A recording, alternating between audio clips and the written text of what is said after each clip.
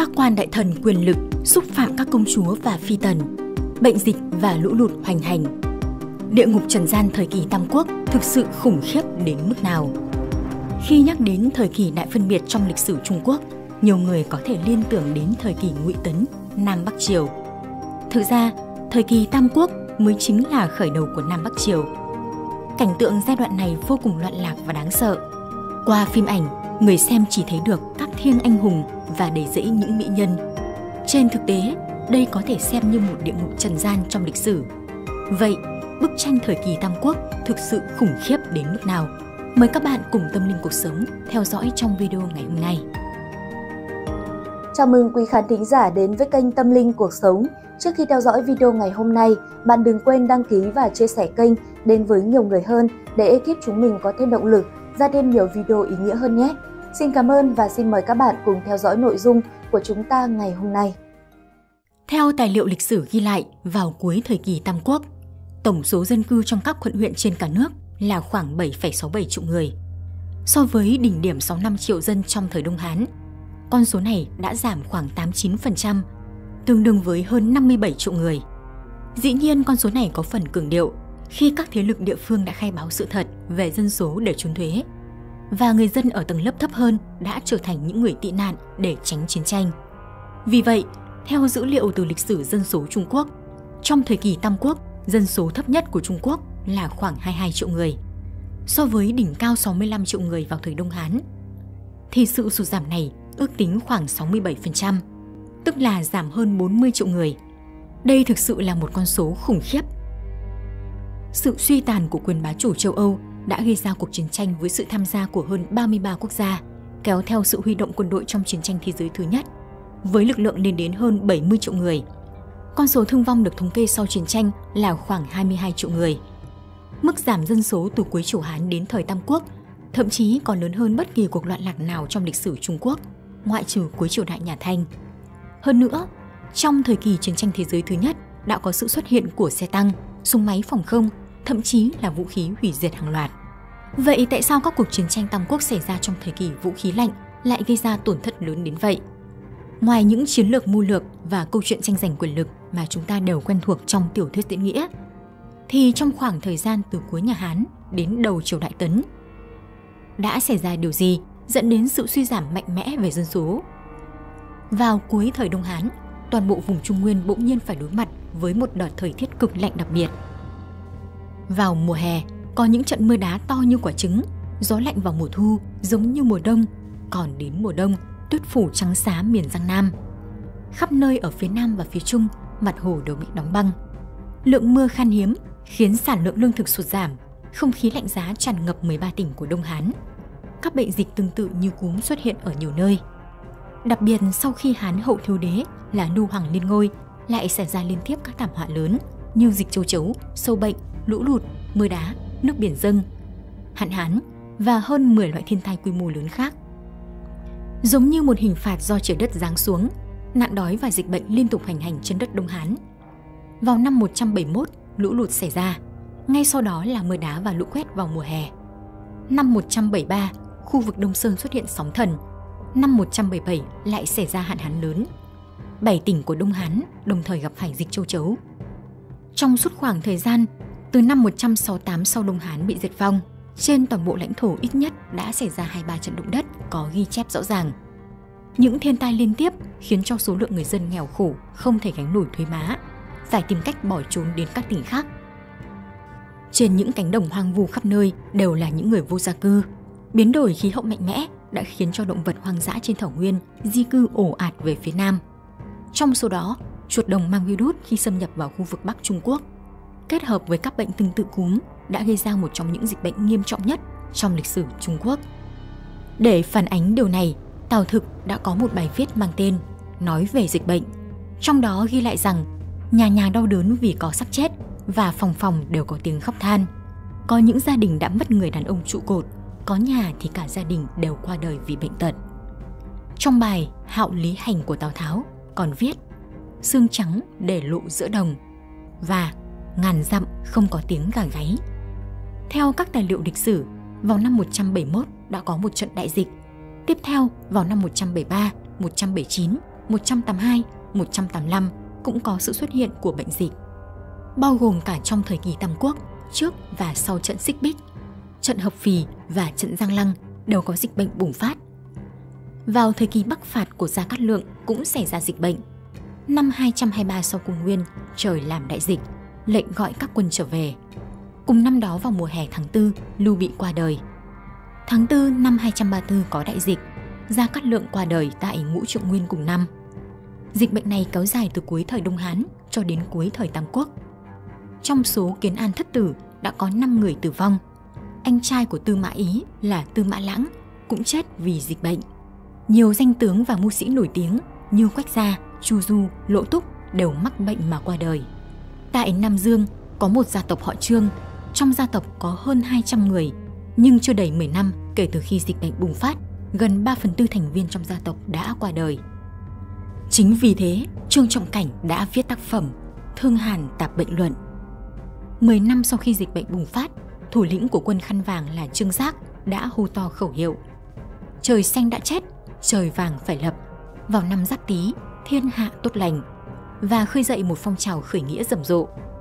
Trong vòng một tháng, dân chúng và lưu dân ở tám châu của Đông Hán như Thanh, U, Từ, Ký, Kinh, Dương, Duyện, Dự đã lại bị nhấn chìm trong khói lửa của triều đình và quân khăn vàng. Mặc dù khởi nghĩa khăn vàng không tiêu diệt được triều đại Đông Hán, nhưng nó đã phá hủy hệ thống và nền tảng của triều đại này. Năm 188, để tăng cường quyền tự chủ của các châu và chống lại sự nổi loạn, Hán Linh Đế đã chấp nhận đề xuất của Lưu Yên, chính thức trao quyền cho các châu. Sau khi cuộc nổi loạn kết thúc, quyền lực của các quan địa phương dần dần bắt đầu thoát khỏi sự kiểm soát của triều đình, trở thành các thế lực độc lập. Trong số đó, thế lực lớn nhất là quân phiệt Lương Châu, Đồng Trác.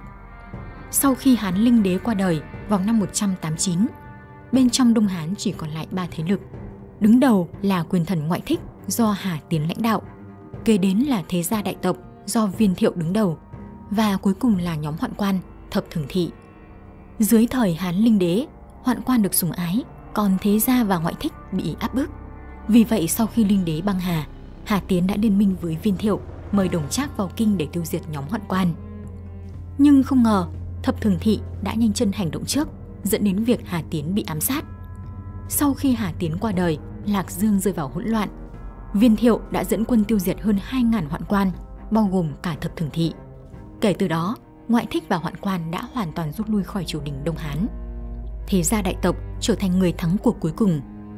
Thế nhưng vào lúc đó, Đồng Trác đã vào kinh nắm quyền quân sự, trực tiếp phớt lờ thế gia mà nhanh chóng tiếp quản triều đình Đông Hán, từ đó khởi đầu cho một loạt hành động tàn bạo của mình.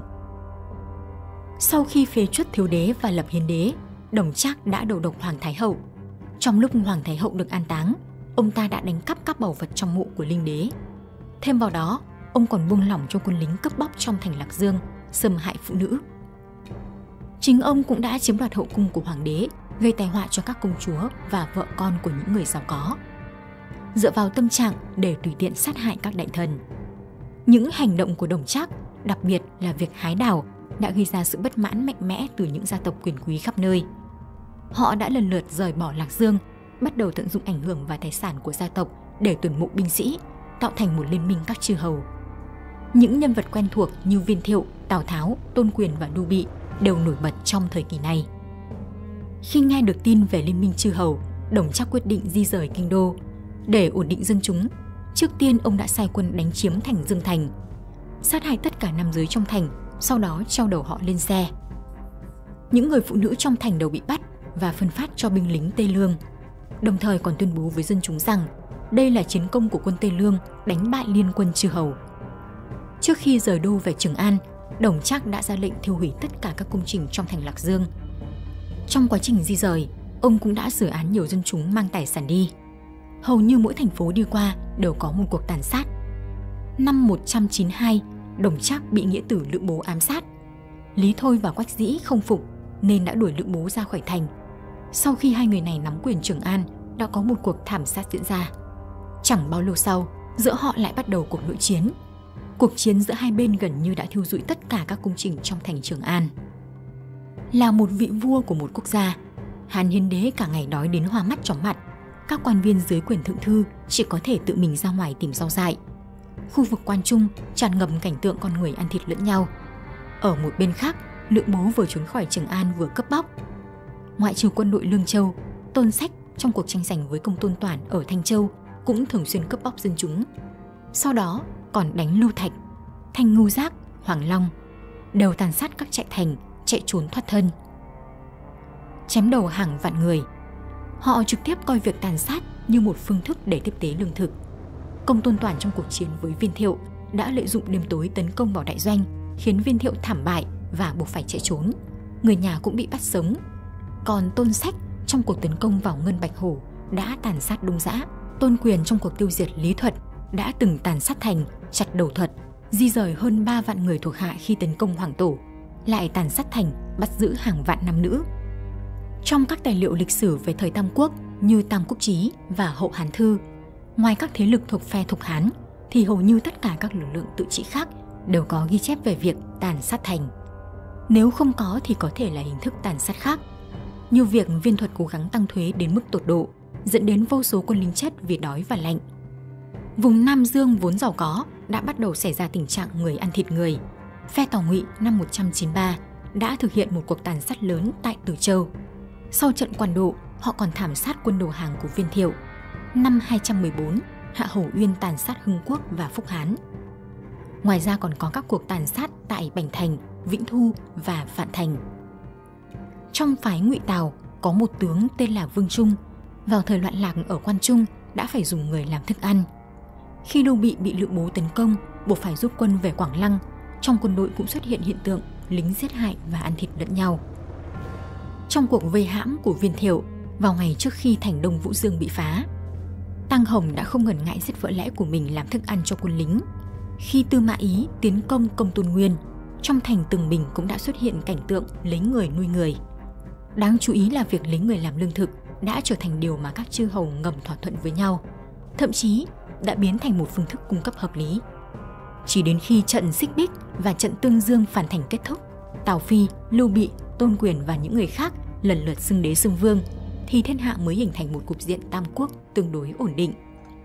Dĩ nhiên, đó chỉ là sự ổn định bề ngoài. Sau khi ba nước đứng vững, thì đời sống của người dân tam quốc sẽ như thế nào? Đông Ngô là một ví dụ rõ ràng. Theo những tài liệu từ thẻ trai được khai quật vào năm 1996, thuế má ở Đông Ngô rất cao, lao dịch nặng nề. Giữa người dân thường xảy ra nhiều trường hợp trốn chạy, bỏ con, thậm chí có những người tự làm tổn thương bản thân để tránh khỏi chính sách hà khắc. Trong thời kỳ Tam Quốc, không ít người dân đã phải trốn chạy để tránh chiến tranh. Có gia đình kéo theo cả người thân đã rút lui vào rừng núi. Vì lý do này mà Tôn Quyền đã nhiều lần tiến hành các cuộc trừng phạt quy mô lớn đối với các khu vực như Trường Sa, Ngọc Trương và nhiều huyện khác chỉ để nhằm mục đích gia tăng dân số. Những người bị bắt nếu thuộc tầng lớp yếu đuối thì sẽ đi cày ruộng nộp thuế, còn những ai mạnh mẽ hơn sẽ được đưa ra chiến trường tham gia quân đội. Ngoài ra trong thời kỳ tôn quyền cầm quyền, nhiều vùng, đặc biệt là cư dân trong nước lâm hương đều chịu sự thu thuế như thuế canh tác, thuế thu gom, thuế thuê nhà, thuế rượu, thuế dụng cụ, thuế tiền tài cùng với hơn 10 loại thuế khác. Tương tự nhà Ngụy cũng chỉ định thu thuế ruộng và thuế đất. Hành động này của Tào Tháo trong giai đoạn đầu đã thực sự giải quyết vấn đề người tị nạn. Nhưng những phương án đối phó này được thiết lập trong thời kỳ đặc biệt đã tạo ra khoảng trống cho những gia đình quý tộc kiếm tiền khi nền kinh tế ổn định trở lại. Việc thực hiện chương trình quân điền ban đầu đã trở thành sự bóc lột sức lao động của nhân dân. Nói một cách đơn giản là vấn đề chỉ nảy sinh khi có sự xuất hiện giàu nghèo.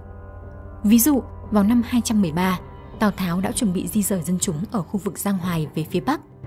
Nhưng kết quả lại dẫn đến hàng chục vạn cư dân địa phương đã chạy sang Đông Ngô. Về lãnh thổ và dân số, cả Ngụy và Ngô đều lớn hơn rõ rệt so với Thục Hán. Điều này có nghĩa là họ có nhiều sự ủng hộ từ các gia tộc lớn và cũng dễ dàng hình thành các gia tộc lớn hơn. Ngược lại, Thục Hán với quy mô nhỏ hơn lại có thể tránh xa vấn đề này một cách tối đa. Dù Gia Cát Lượng đã áp dụng những hình phạt nghiêm khắc, nhưng ông vẫn có thể thực thi pháp luật một cách công bằng. Trên thực tế, con người không lo thiếu thốn mà lo về sự bất bình đẳng, không lo về sự nghèo đói mà lo về sự bất an. Trái lại, trạng thái xã hội với chênh lệch giàu nghèo nhỏ còn có thể khuyến khích lòng hăng hái của nhân dân, nâng cao năng lực vận hành của toàn quốc.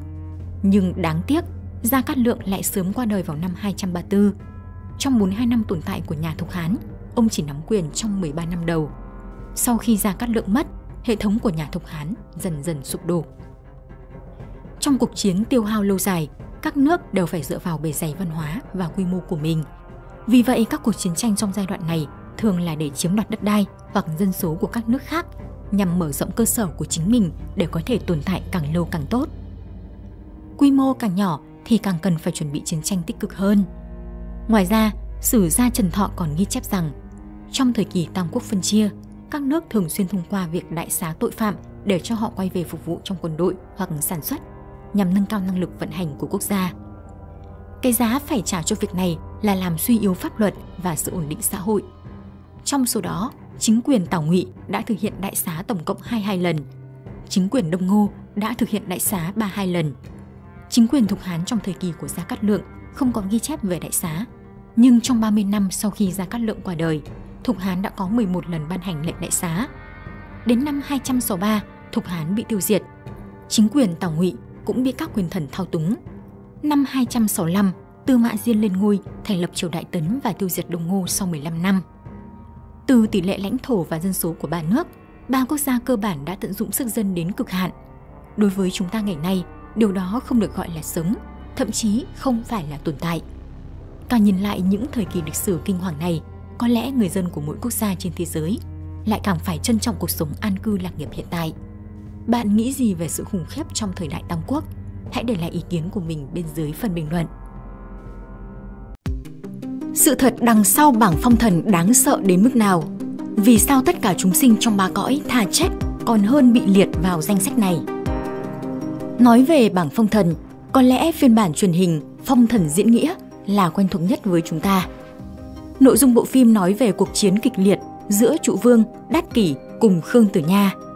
Trong đó có nhiều hình ảnh kinh dị đã được hạn chế. Tuy nhiên, bảng phong thần thực sự còn hay và đáng sợ hơn cả bản truyền hình. Sự thật đằng sau việc phong thần được tiết lộ sẽ khiến chúng ta vô cùng bất ngờ, bởi nó có liên quan đến một âm mưu của Ngọc Đế. Bảng phong thần thực sự đáng sợ đến mức nào mà nhiều người lại không muốn có tên trong danh sách này. Ngay cả trụ vương cũng được phong làm thần, nhưng Khương Tử Nha lại đặc biệt loại bỏ mình ra khỏi danh sách. Phải chăng phía sau bảng phong thần này là một âm mưu lớn khó lường? Mời các bạn cùng tâm linh cuộc sống theo dõi trong video ngày hôm nay. Vậy thì bảng phong thần được hình thành như thế nào? Bề ngoài là do thiên đình vừa mới thành lập, Ngọc Đế cần gấp một nhóm người để lấp đầy 365 vị trí còn bỏ trống. Nhưng khi chiêu mộ nhân tài, ông đã nhắm đến 12 đệ tử của Nguyên Thủy Thiên Tôn đầu tiên. Bởi họ đã tu luyện 1.500 năm mà vẫn chưa chặt đứt được ba loại ác dục. Ở đây, ba loại ác dục được nói đến là những ham muốn xấu xa của con người mà người tu tiên chỉ có thể hoàn thành việc chặt đứt ba loại ác dục này thì mới có thể thành công tu luyện thành Đại La Kim Tiên. Tuy nhiên, 12 đệ tử này vẫn chưa hoàn thành. Vì vậy, họ cần phải xuống trần gian để trải qua kiếp nạn mới có thể tiếp tục tu luyện. Vì vậy Ngọc Đế đã tận dụng cơ hội này để cho ba giáo phái xiền, triệt, đạo cùng ký kết bảng phong thần nhằm thu hợp đủ 365 người. Để thu hút đệ tử của Tam giáo, Ngọc Đế còn cố ý chọn chiến trường là khu vực Vũ Vương phạt trụ.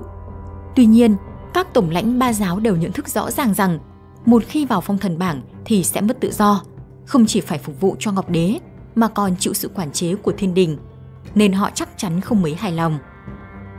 Vì vậy, sau khi bảng phong thần được ký kết, thông thiên giáo chủ đã về truyền lệnh cấm túc cho các đệ tử giáo phái, không cho họ tự tiện vào Tây Quy chiến trường để tránh bị thu vào bảng phong thần. Ông còn chặn ngay ở cổng Bích Du Cung, trụ sở chính của triệt giáo, và dán một câu đối cảnh báo. Đóng cửa tụng huỳnh đình, thiệt bực cố thành ngôi tránh quả. Tách mình qua Tây Thổ là người đứng tên bảng phong thần. Nhưng phía bên kia, Thái thượng lão quân lại không như vậy. Ông ấy biết rõ những đệ tử của mình là những người gây ra nhiều nghiệp lực nhất trong tam giáo. Nếu không làm gì cả, thì rất có thể cuối cùng những người có tên trong bảng phong thần sẽ toàn là đệ tử tông phái của ông.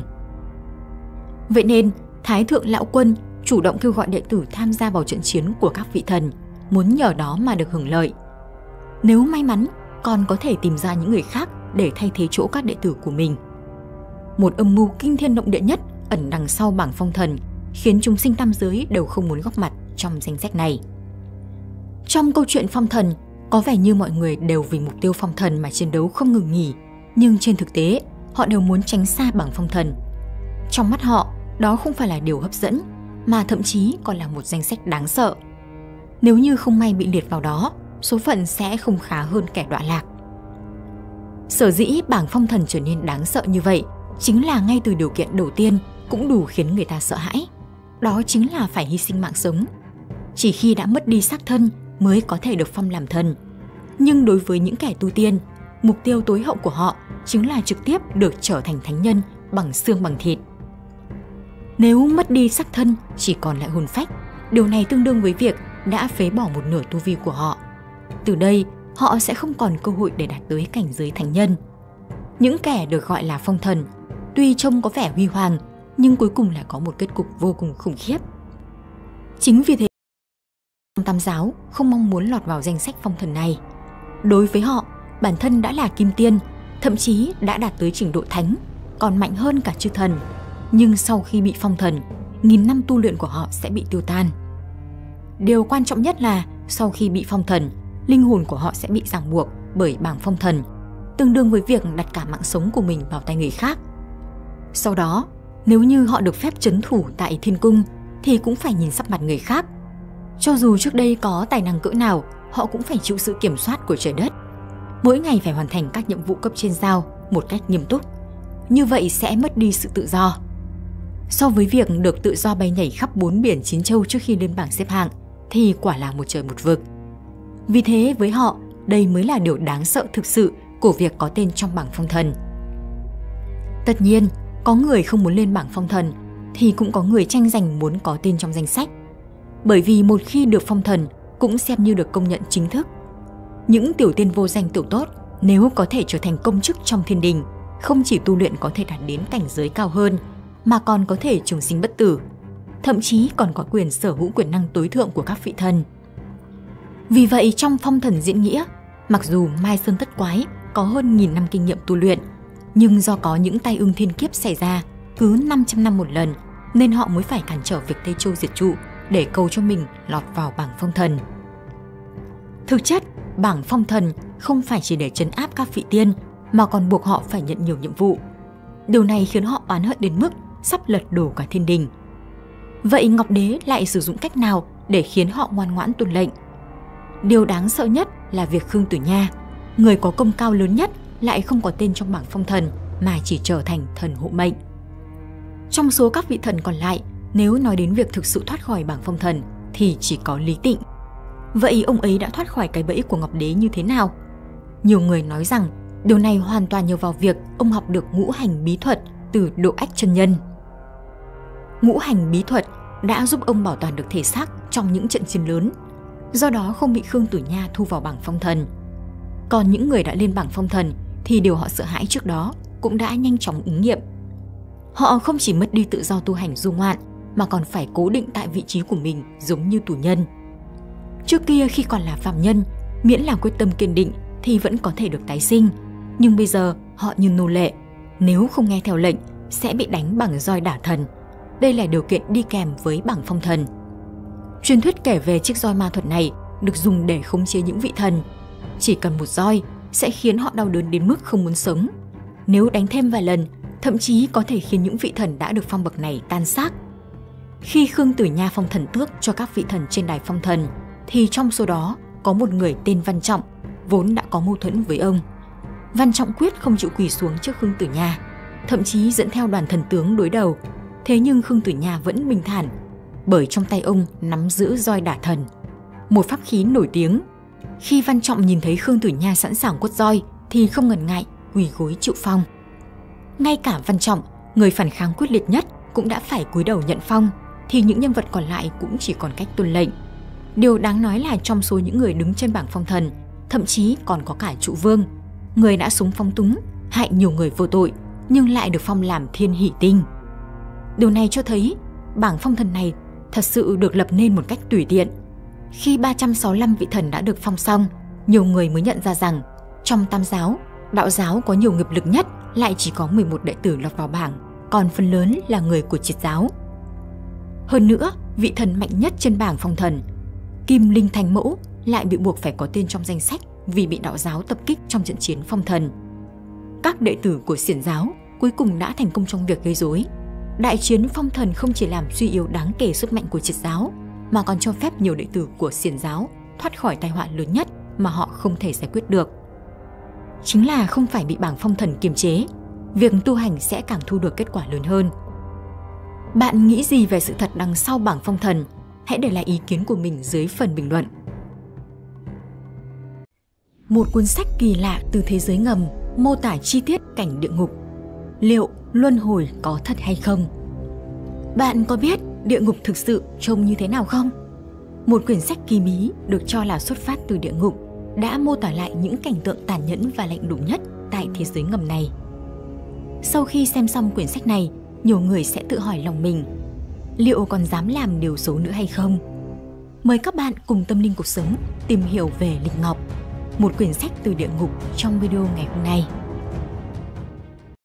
Mặc dù Lịch Ngọc Bảo Sủ hay còn gọi tắt là Lịch Ngọc được rộng rãi truyền bá trong dân gian, nhưng về nguồn gốc thực sự của cuốn sách này thì lại ít người biết đến. Theo truyền thuyết, có một vị tu sĩ tên là Đạm Si, vào ngày ngũ thần lễ hội mùng 9 tháng 9, một mình ra ngoài đi dạo. Ông cứ đi khắp nơi, cho đến một ngọn núi thì lập tức bị tấm bia đá đứng ngay trước mắt thu hút. Trên tấm bia đá có khắc 5-6 ký tự nói về quy luật nhân quả và luân hồi. Sau khi đọc hết nội dung trên tấm bia đá, lòng ông cũng mơ hồ không yên. Tuy nhiên ông không biết rằng mình đang dần bước vào một thế giới huyền bí. Trong lúc mơ màng, Đạm Si được dẫn đến một cung điện bí ẩn lộng lẫy tráng lệ. Phía trên cánh cửa màu đỏ thẫm còn treo một tấm biển viết bốn chữ lớn Sinh tử nhập thế. Trong khi còn đang mơ màng không biết thực hư, một sứ giả mặc áo màu xanh đã đến đón ông vào trong cung điện. Sau này Đạm Si mới biết hôm đó là ngày sinh nhật của phong đô đại đế. Trong không khí sôi động của vô số người đến chúc mừng, Hòa thượng Đạm Si không dám lơ là mà đi theo sứ giả dẫn đường để tỏ lòng thành kính.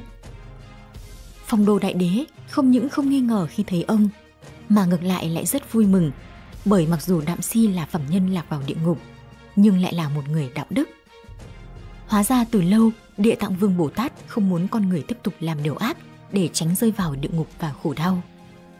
Ngài đã nguyện rằng địa ngục không chống, thể không thành Phật.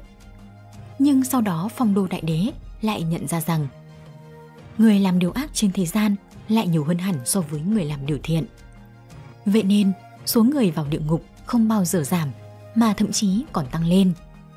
Dưới tình hình này, phong đô đại đế đã thảo luận với thập điện Diêm Vương xem có thể lập ra các quy tắc rõ ràng để thế gian biết rằng có nhân quả báo ứng nhằm để cảnh báo cho con người không làm điều ác mà chỉ tập trung hành thiện. Cuối cùng Phong Đô Đại Đế cùng Thập Điện Diêm Vương quyết định biên soạn ra một cuốn sách. Nếu ai đọc cuốn sách này và chân thành hối hận, cải tạo hành vi sai trái của mình, thì sau khi qua đời, tội ác của họ có thể được giảm nhẹ, để tránh khỏi nhiều nỗi đau khổ ở địa ngục. Nhưng nếu con người tiếp tục làm điều ác mà không hối cải, thì họ sẽ bị trừng phạt một cách nặng nề. Những quy tắc này được tổng hợp từ nhiều nền văn minh khác nhau thành cuốn Lịch Ngọc Bảo Sổ và cuối cùng sẽ được ban phước bởi Ngọc Hoàng Đại Đế. Tuy nhiên, lúc này lại phát sinh một vấn đề là làm sao để truyền bá thông điệp của cuốn sách này cho thế hệ sau. Có cách nào khiến con người trên thế gian tin vào sự tồn tại của nhân quả luân hồi cùng 18 tầng địa ngục hay không? Và sự xuất hiện của đạm si tu sĩ tại địa ngục sẽ giúp giải quyết vấn đề này. Theo truyền thuyết dân gian, sau khi qua đời, con người sẽ nhập vào một chiều không gian và thời gian khác. Người qua đời do tai nạn, qua đời không rõ nguyên nhân hoặc bị oan ức sẽ bước vào âm phủ. Những linh hồn này thường mang theo nỗi oán hận vì tuổi trẻ chưa kịp trọn vẹn. Do đó, họ phải chờ đến khi tuổi thọ cạn kiệt mới có thể tái sinh. Sách Ngọc Lịch cũng có quan điểm riêng về việc đến hoặc không đến địa ngục sẽ phụ thuộc vào hành vi khi còn sống của họ những người làm việc lớn, hiếu thuận hoặc hy sinh anh dũng sẽ vượt qua đau khổ, đặc biệt để trở thành thần linh hoặc tái sinh trực tiếp. Ngoại trừ việc sinh nở thì những ai không tôn trọng thần linh, có những hành vi xấu xa trước tượng thần hoặc thường xuyên giết mổ động vật, làm dính máu trên đồ công đức sẽ bị ném vào vũng máu. phải chịu đau khổ cho đến khi trả hết nghiệp báo. Điều duy nhất có thể giúp những người này thoát khỏi khổ đau chính là người thân ở thế gian thay mặt họ làm nhiều việc thiện. Khi lượng công đức đạt đến một mức độ nhất định thì họ mới được giải thoát. Sách Ngọc Lịch cũng nói rõ rằng những người không biết báo đáp ân tình, không giúp đỡ người khác hay thậm chí không quan tâm đến người đã từng giúp đỡ mình sẽ tái sinh thành thần núi hay quái vật dưới nước. Dù họ có tích lũy bao nhiêu công đức trước đó, cũng chỉ giúp giảm bớt một ít đau khổ. Họ không những không thể tái sinh thành con người mà còn trở thành linh quái kỳ lạ. Tuy nhiên, những người như vậy không phải hoàn toàn không thể cứu vãn. Chỉ cần họ thật lòng hối cải, tích lũy đủ bản nguyên sẽ có khả năng tái sinh vào nơi tốt đẹp. Nếu không, họ sẽ phải đối diện với hình phạt xét đánh, mãi mãi không được tái sinh. Khi mô tả về cảnh tượng địa ngục, sách Ngọc Lịch nói rằng địa ngục có 8 tầng với 10 điện. Ngoài ra, mỗi địa ngục còn được phân thành 16 tiểu ngục do thập điện Diêm Vương quản lý. Khi một người qua đời, sẽ phải chịu sự phán xét tùy theo những tội lỗi của mình, sau đó hoàn thành hình phạt trong từng ngục trước khi có thể tái sinh. Người cai quản điện đầu tiên là Tần Quảng Vương, chịu trách nhiệm đặc biệt về tuổi thọ của con người và việc phán xét sinh tử. Khi người tốt qua đời sẽ được đến thiên đàng hoặc tái sinh vào cõi Tây Phương cực lạc. Nhưng nếu nửa công nửa tội, họ sẽ bị đưa đến điện thứ 10 để sắp xếp tái sinh ở thế giới loài người. Nếu những người này trong suốt cuộc đời làm nhiều việc ác hơn việc tốt, họ sẽ bị đưa đến một nơi gọi là tà kính đài. Trên đó có một tấm gương sẽ phản chiếu tất cả những việc ác mà họ làm khi còn sống để nhắc nhở rằng giàu sang phú quý sẽ không mang theo được, chỉ có tội lỗi sẽ theo họ đến suốt đời. Và sau phiên phán xét đầu tiên, những người làm nhiều chuyện ác sẽ được dẫn tới điện thứ hai. Sở Giang Vương là người cai quản nhị điện, là nơi giám sát ngục hoạt đại trải dài 8.000 dặm. Nơi này có 16 địa ngục nhỏ dựa vào tội lỗi của nam nữ để thiết lập hình phạt. Hành vi tội ác như tổn hại người khác vì lợi ích bản thân, lừa đảo sẽ được xét theo mức độ nghiêm trọng, sau đó phân chia thành từng nhóm và đưa đến từng tiểu ngục. Sau khi hoàn thành hình phạt, họ sẽ tiếp tục bị đưa đến điện thứ ba. Người cai quản tam điện chính là Tống Đế Vương, điều hành ngục Hắc Thắng Đại Địa, cũng gồm 16 tiểu ngục. Nơi này chuyên xử lý những kẻ vô ơn, phản bội, ngụy đạo và phá hoại danh tiếng của người khác vì lợi ích cá nhân. Tuy nhiên, nếu lúc sinh thời, vào ngày mùng 8 tháng 2, những người này thường lòng ăn năn hối cải, đảm bảo không tái phạm nữa, thì sau khi qua đời, họ sẽ được giảm nhẹ đau đớn và chuyển đến các cung điện khác. Ngũ Quan Vương là người cai quản tứ điện, chịu trách nhiệm cho ngục hợp đại, chuyên phạt tội những kẻ trốn nộp tô thuế, mua bán gian lận, phá hoại trật tự môi trường hay quyến rũ lòng người. Diêm La Thiên Tử sẽ cai quản ngũ điện. Nơi đây là nơi trừng phạt những kẻ không tôn trọng ma quỷ, giết người vô tội, lừa đảo lòng tốt và không biết ăn năn hối cải. Từ điện thứ 6 đến điện thứ 9 sẽ là những hình phạt khác nhau dành cho những người hủy hoại sách vở và lãng phí thức ăn. Trong khi một số khác bị trừng phạt vì bóp méo sự thật hay có sở thích xấu xa. Nếu ai không làm tròn hiếu đạo, không định rõ đúng sai sẽ bị đưa đến bát điện. Còn những kẻ tung tin đồn gây ảnh hưởng đến lợi ích xã hội sẽ bị đưa đến cửu điện và mỗi đại điện đều có hình phạt tương ứng. Con người có bao nhiêu tội ác sẽ có bấy nhiêu hình phạt đang đón chờ. Chỉ khi chịu hết những hình phạt này mới có thể bước vào điện thứ 10. Điện thứ 10 này hay còn gọi là điện chuyển luân vương, được sử dụng để xác định tội lỗi và phúc đức của cá nhân, để dự đoán tương lai của họ. Tất cả những thông tin này được ghi chép trong cuốn sách Ngọc Lịch Bảo Sổ. Mặc dù nội dung có thể đã được các thế hệ sau chỉnh sửa nhiều lần, nhưng đó vẫn là lời cảnh báo cho thế giới về quy luật nhân quả rằng chỉ có làm điều tốt mới có thể sống một cuộc đời ý nghĩa. Atula Chính xác thì chiến trường Atula là gì? Nhóm sinh vật mà ngay cả các vị thần cũng phải sợ hãi. Có một nhân vật thần thoại mà chúng ta thường nghe thấy trong phim ảnh và tiểu thuyết, đó chính là Atula. Atula Atula thường được mô tả bằng hình tượng những nhân vật cực kỳ ác độc và u ám. Thậm chí trong nhiều bộ phim truyền hình và tiểu thuyết, để mô tả một chiến trường rất khốc liệt, người ta thường sử dụng tên gọi chiến trường Atula để ám chỉ. Vậy sự thật rốt cuộc là gì? Atula trong thần thoại thực sự là thực thể như thế nào? Chiến trường Atula có đáng sợ hay không? Mời các bạn cùng tâm linh cuộc sống theo dõi trong video ngày hôm nay.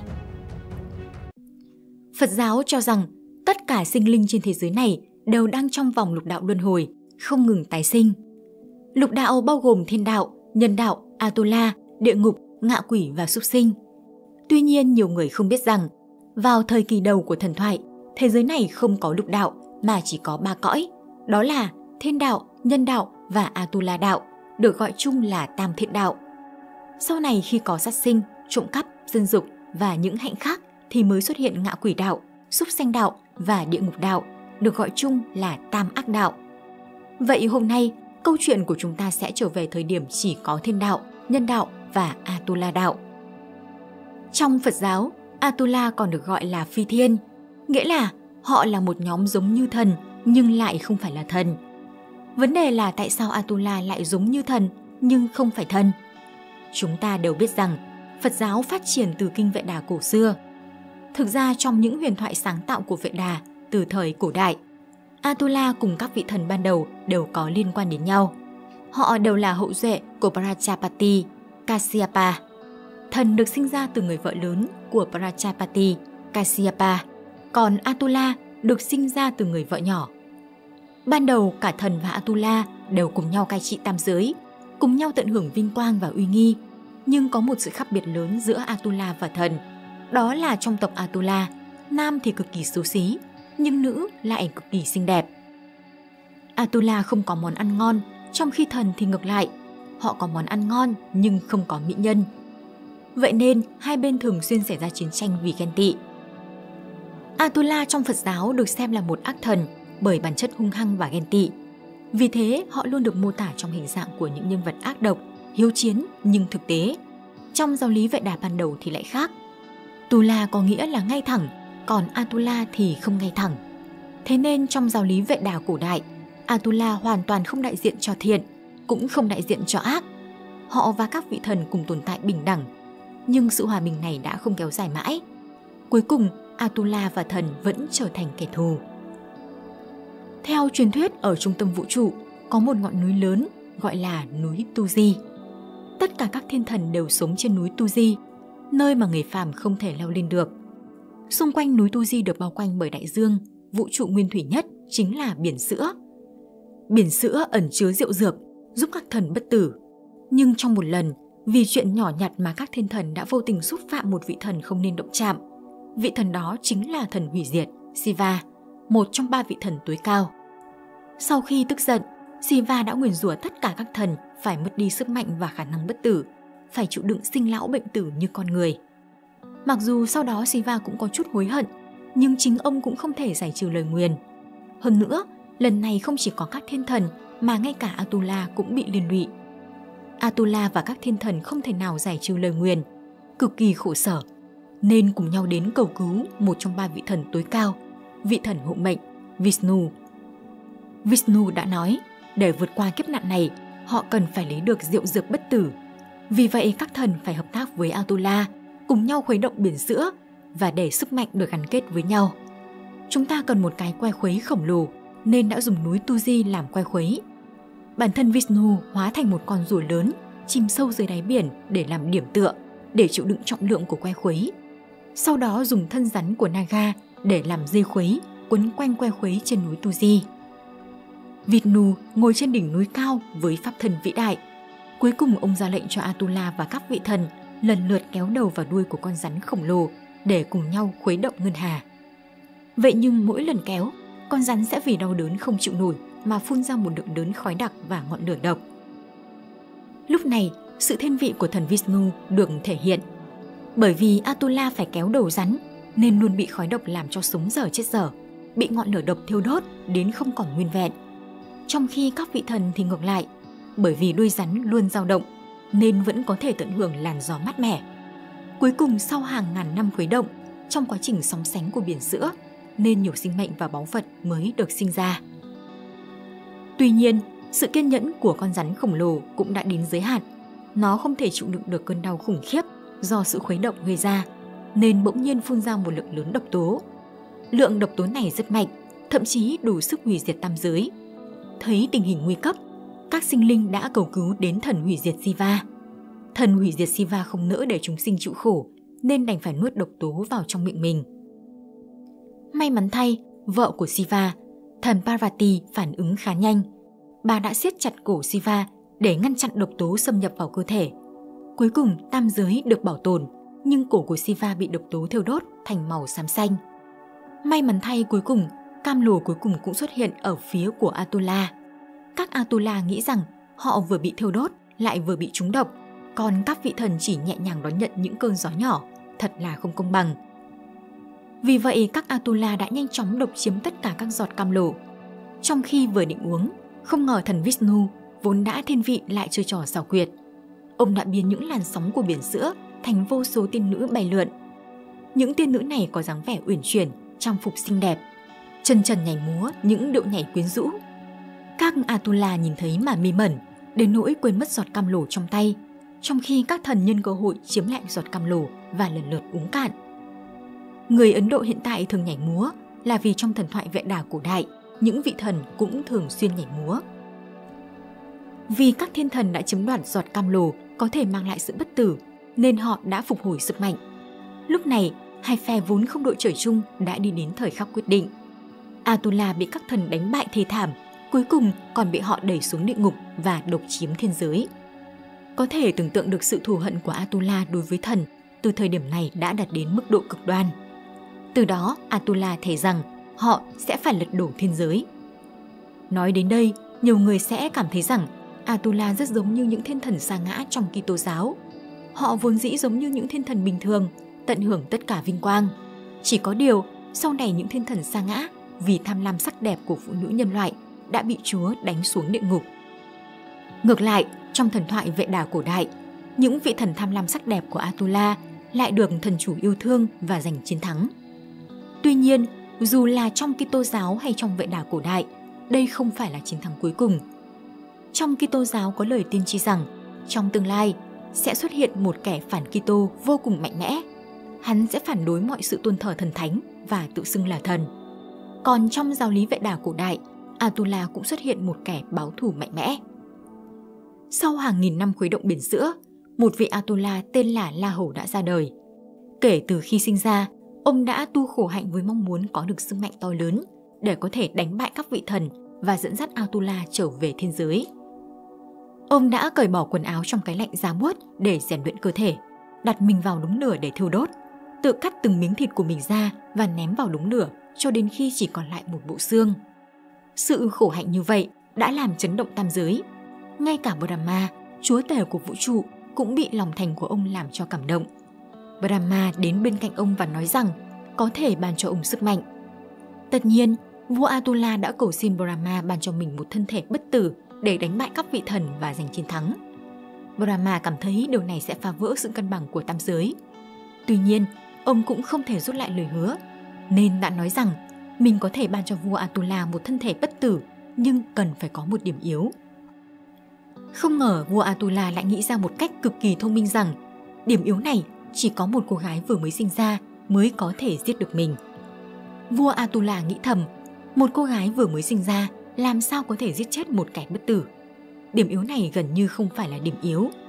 Nhưng không ngờ Brahma lại đồng ý với lời nói đề nghị, ban cho vua Atula thân thể bất tử. Vì vậy vào thời hiện đại, chúng ta có thể thấy nhiều người tu khổ hạnh ở Ấn Độ, thậm chí còn giơ tay lên suốt đời không hạ xuống. Sở dĩ họ sẵn lòng sống trong đau khổ mà vẫn kiên trì khổ hạnh là vì họ tin tưởng rằng đây chính là cách giúp bản thân đạt được sự trường sinh bất tử. Với sự ban phước của Brahma, vua Atula không lâu sau đã khởi động lại cuộc chiến tấn công lên thiên đường. Cuối cùng, vua Atula đã đánh bại các vị thần, khiến họ rơi vào tình cảnh thê thảm. Bất kỳ vũ khí nào của các vị thần cũng không thể làm tổn thương được vua Atula. Nhưng không ngờ, nhóm thần linh này lại giống như những đứa trẻ chưa lớn. Chỉ cần không đánh thắng được, họ liền nghĩ đến việc tìm cha mẹ giúp đỡ. Đầu tiên là cầu cứu chúa tể vũ trụ Brahma. Có lẽ Brahma cũng không thể chấp nhận hành động của các vị thần. Hơn nữa, chính ông đã ban cho Atula thân bất tử, nên lần này Brahma chọn cách tranh né và từ chối.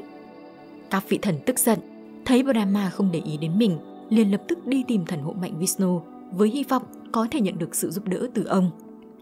Tuy nhiên, ngay cả Vishnu, một trong ba vị thần chính của Ấn Độ giáo, cũng không thể làm gì trước một vua Atula được Brahma ban phước.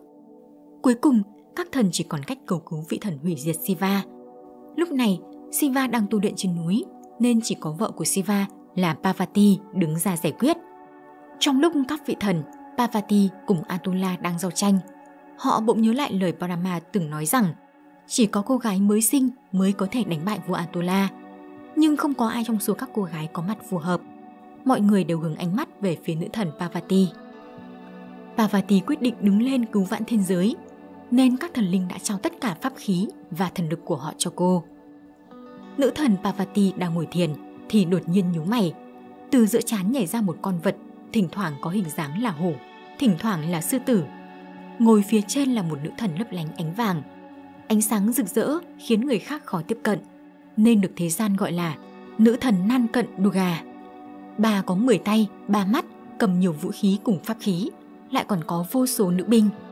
Khi nữ thần Duga ra trận, bà đã tiêu diệt được đạo quân tiên phong của vua Atula. Nhưng vua Atula dù sao cũng được sự che chở của Brahma, nên cũng không dễ đối phó. Mặc dù nữ thần Durga đã dùng cung tên bắn cho vua Atula bị thương nặng. Nhưng kết quả lại khiến tình hình trở nên tồi tệ hơn. Vì từ những vết thương, máu chảy ra lại sinh ra vô số Atula mới. Vua Atula càng nhiều vết thương, thì Atula lại càng trở nên đông hơn. Thực sự không thể tiêu diệt được.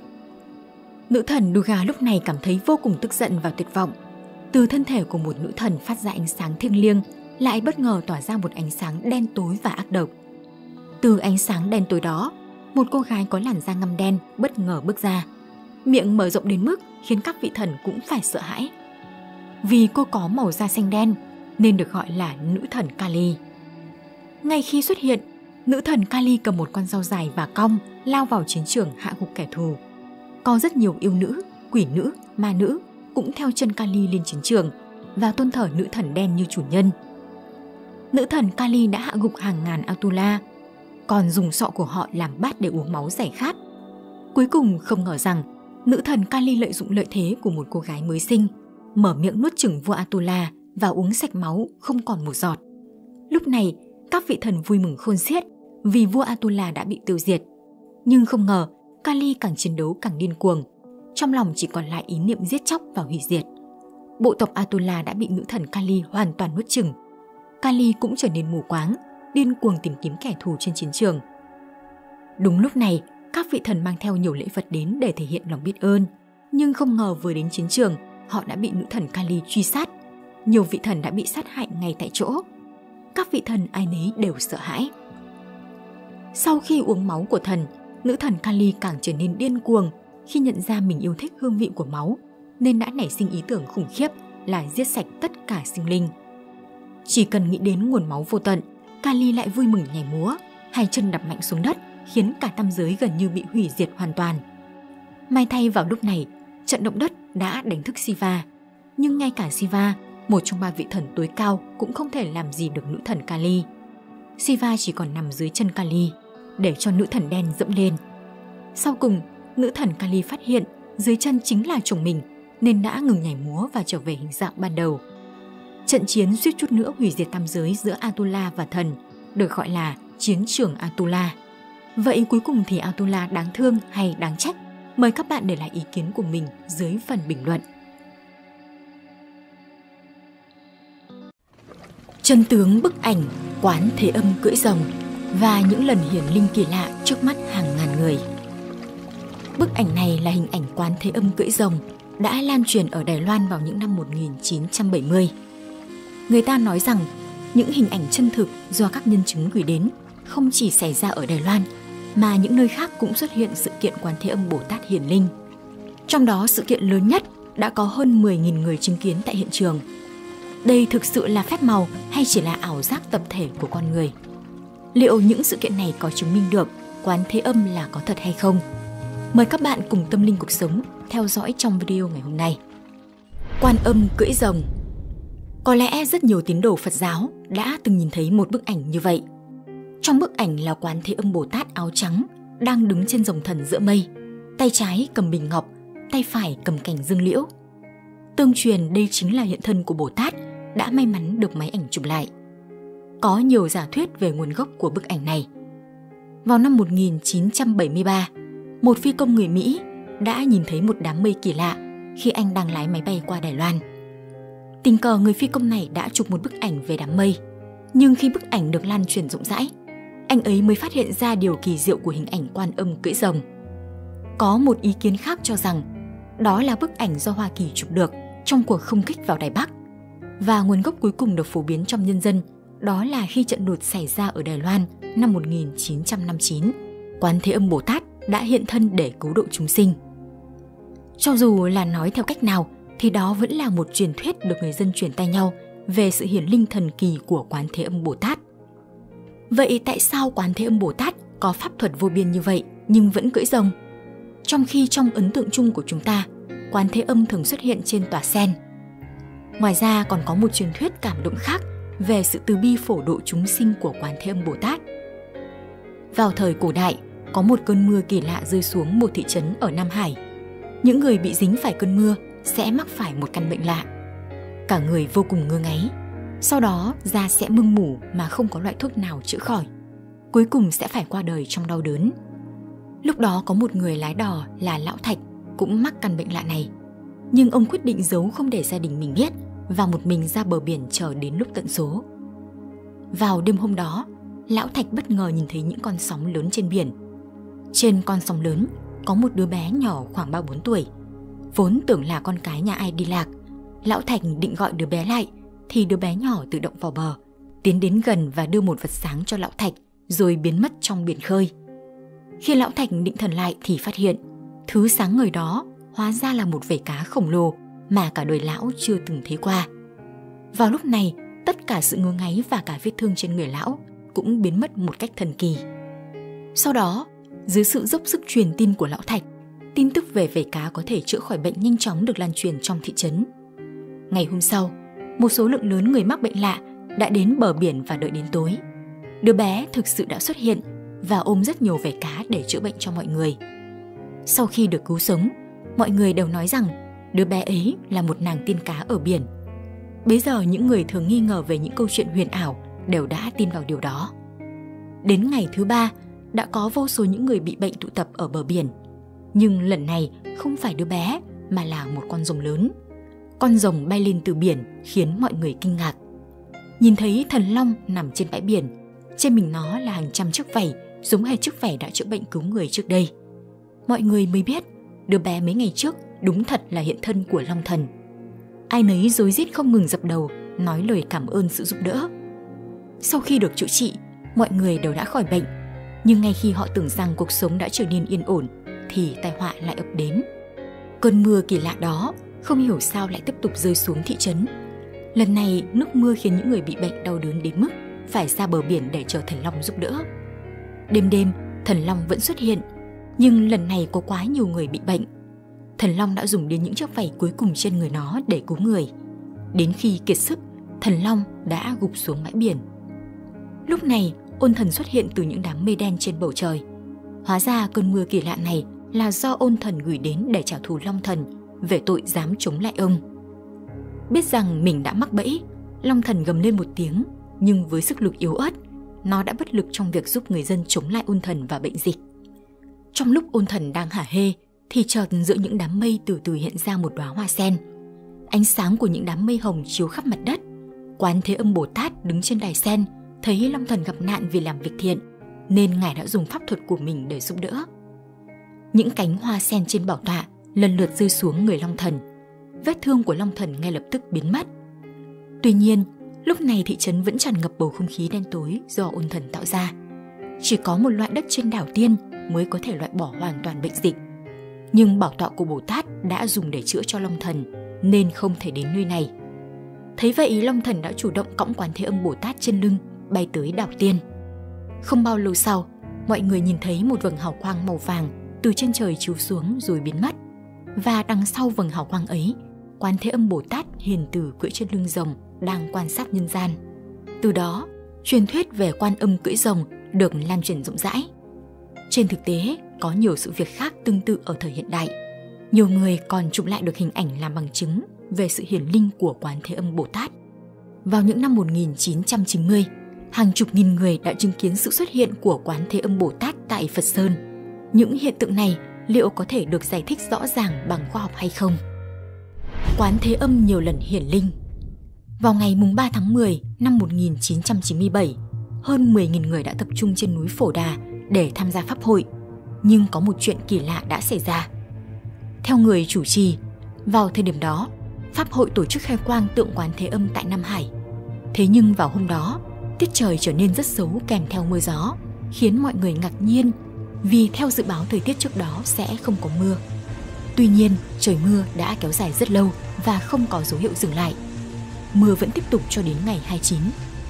Người chủ trì và các tín đồ Phật tử đều lo lắng rằng nếu đến ngày 30 mà trời vẫn chưa tạnh thì đừng nói đến việc có bao nhiêu người hành hương sẽ đến. Ngay cả pháp hội cũng có thể không được tổ chức bình thường.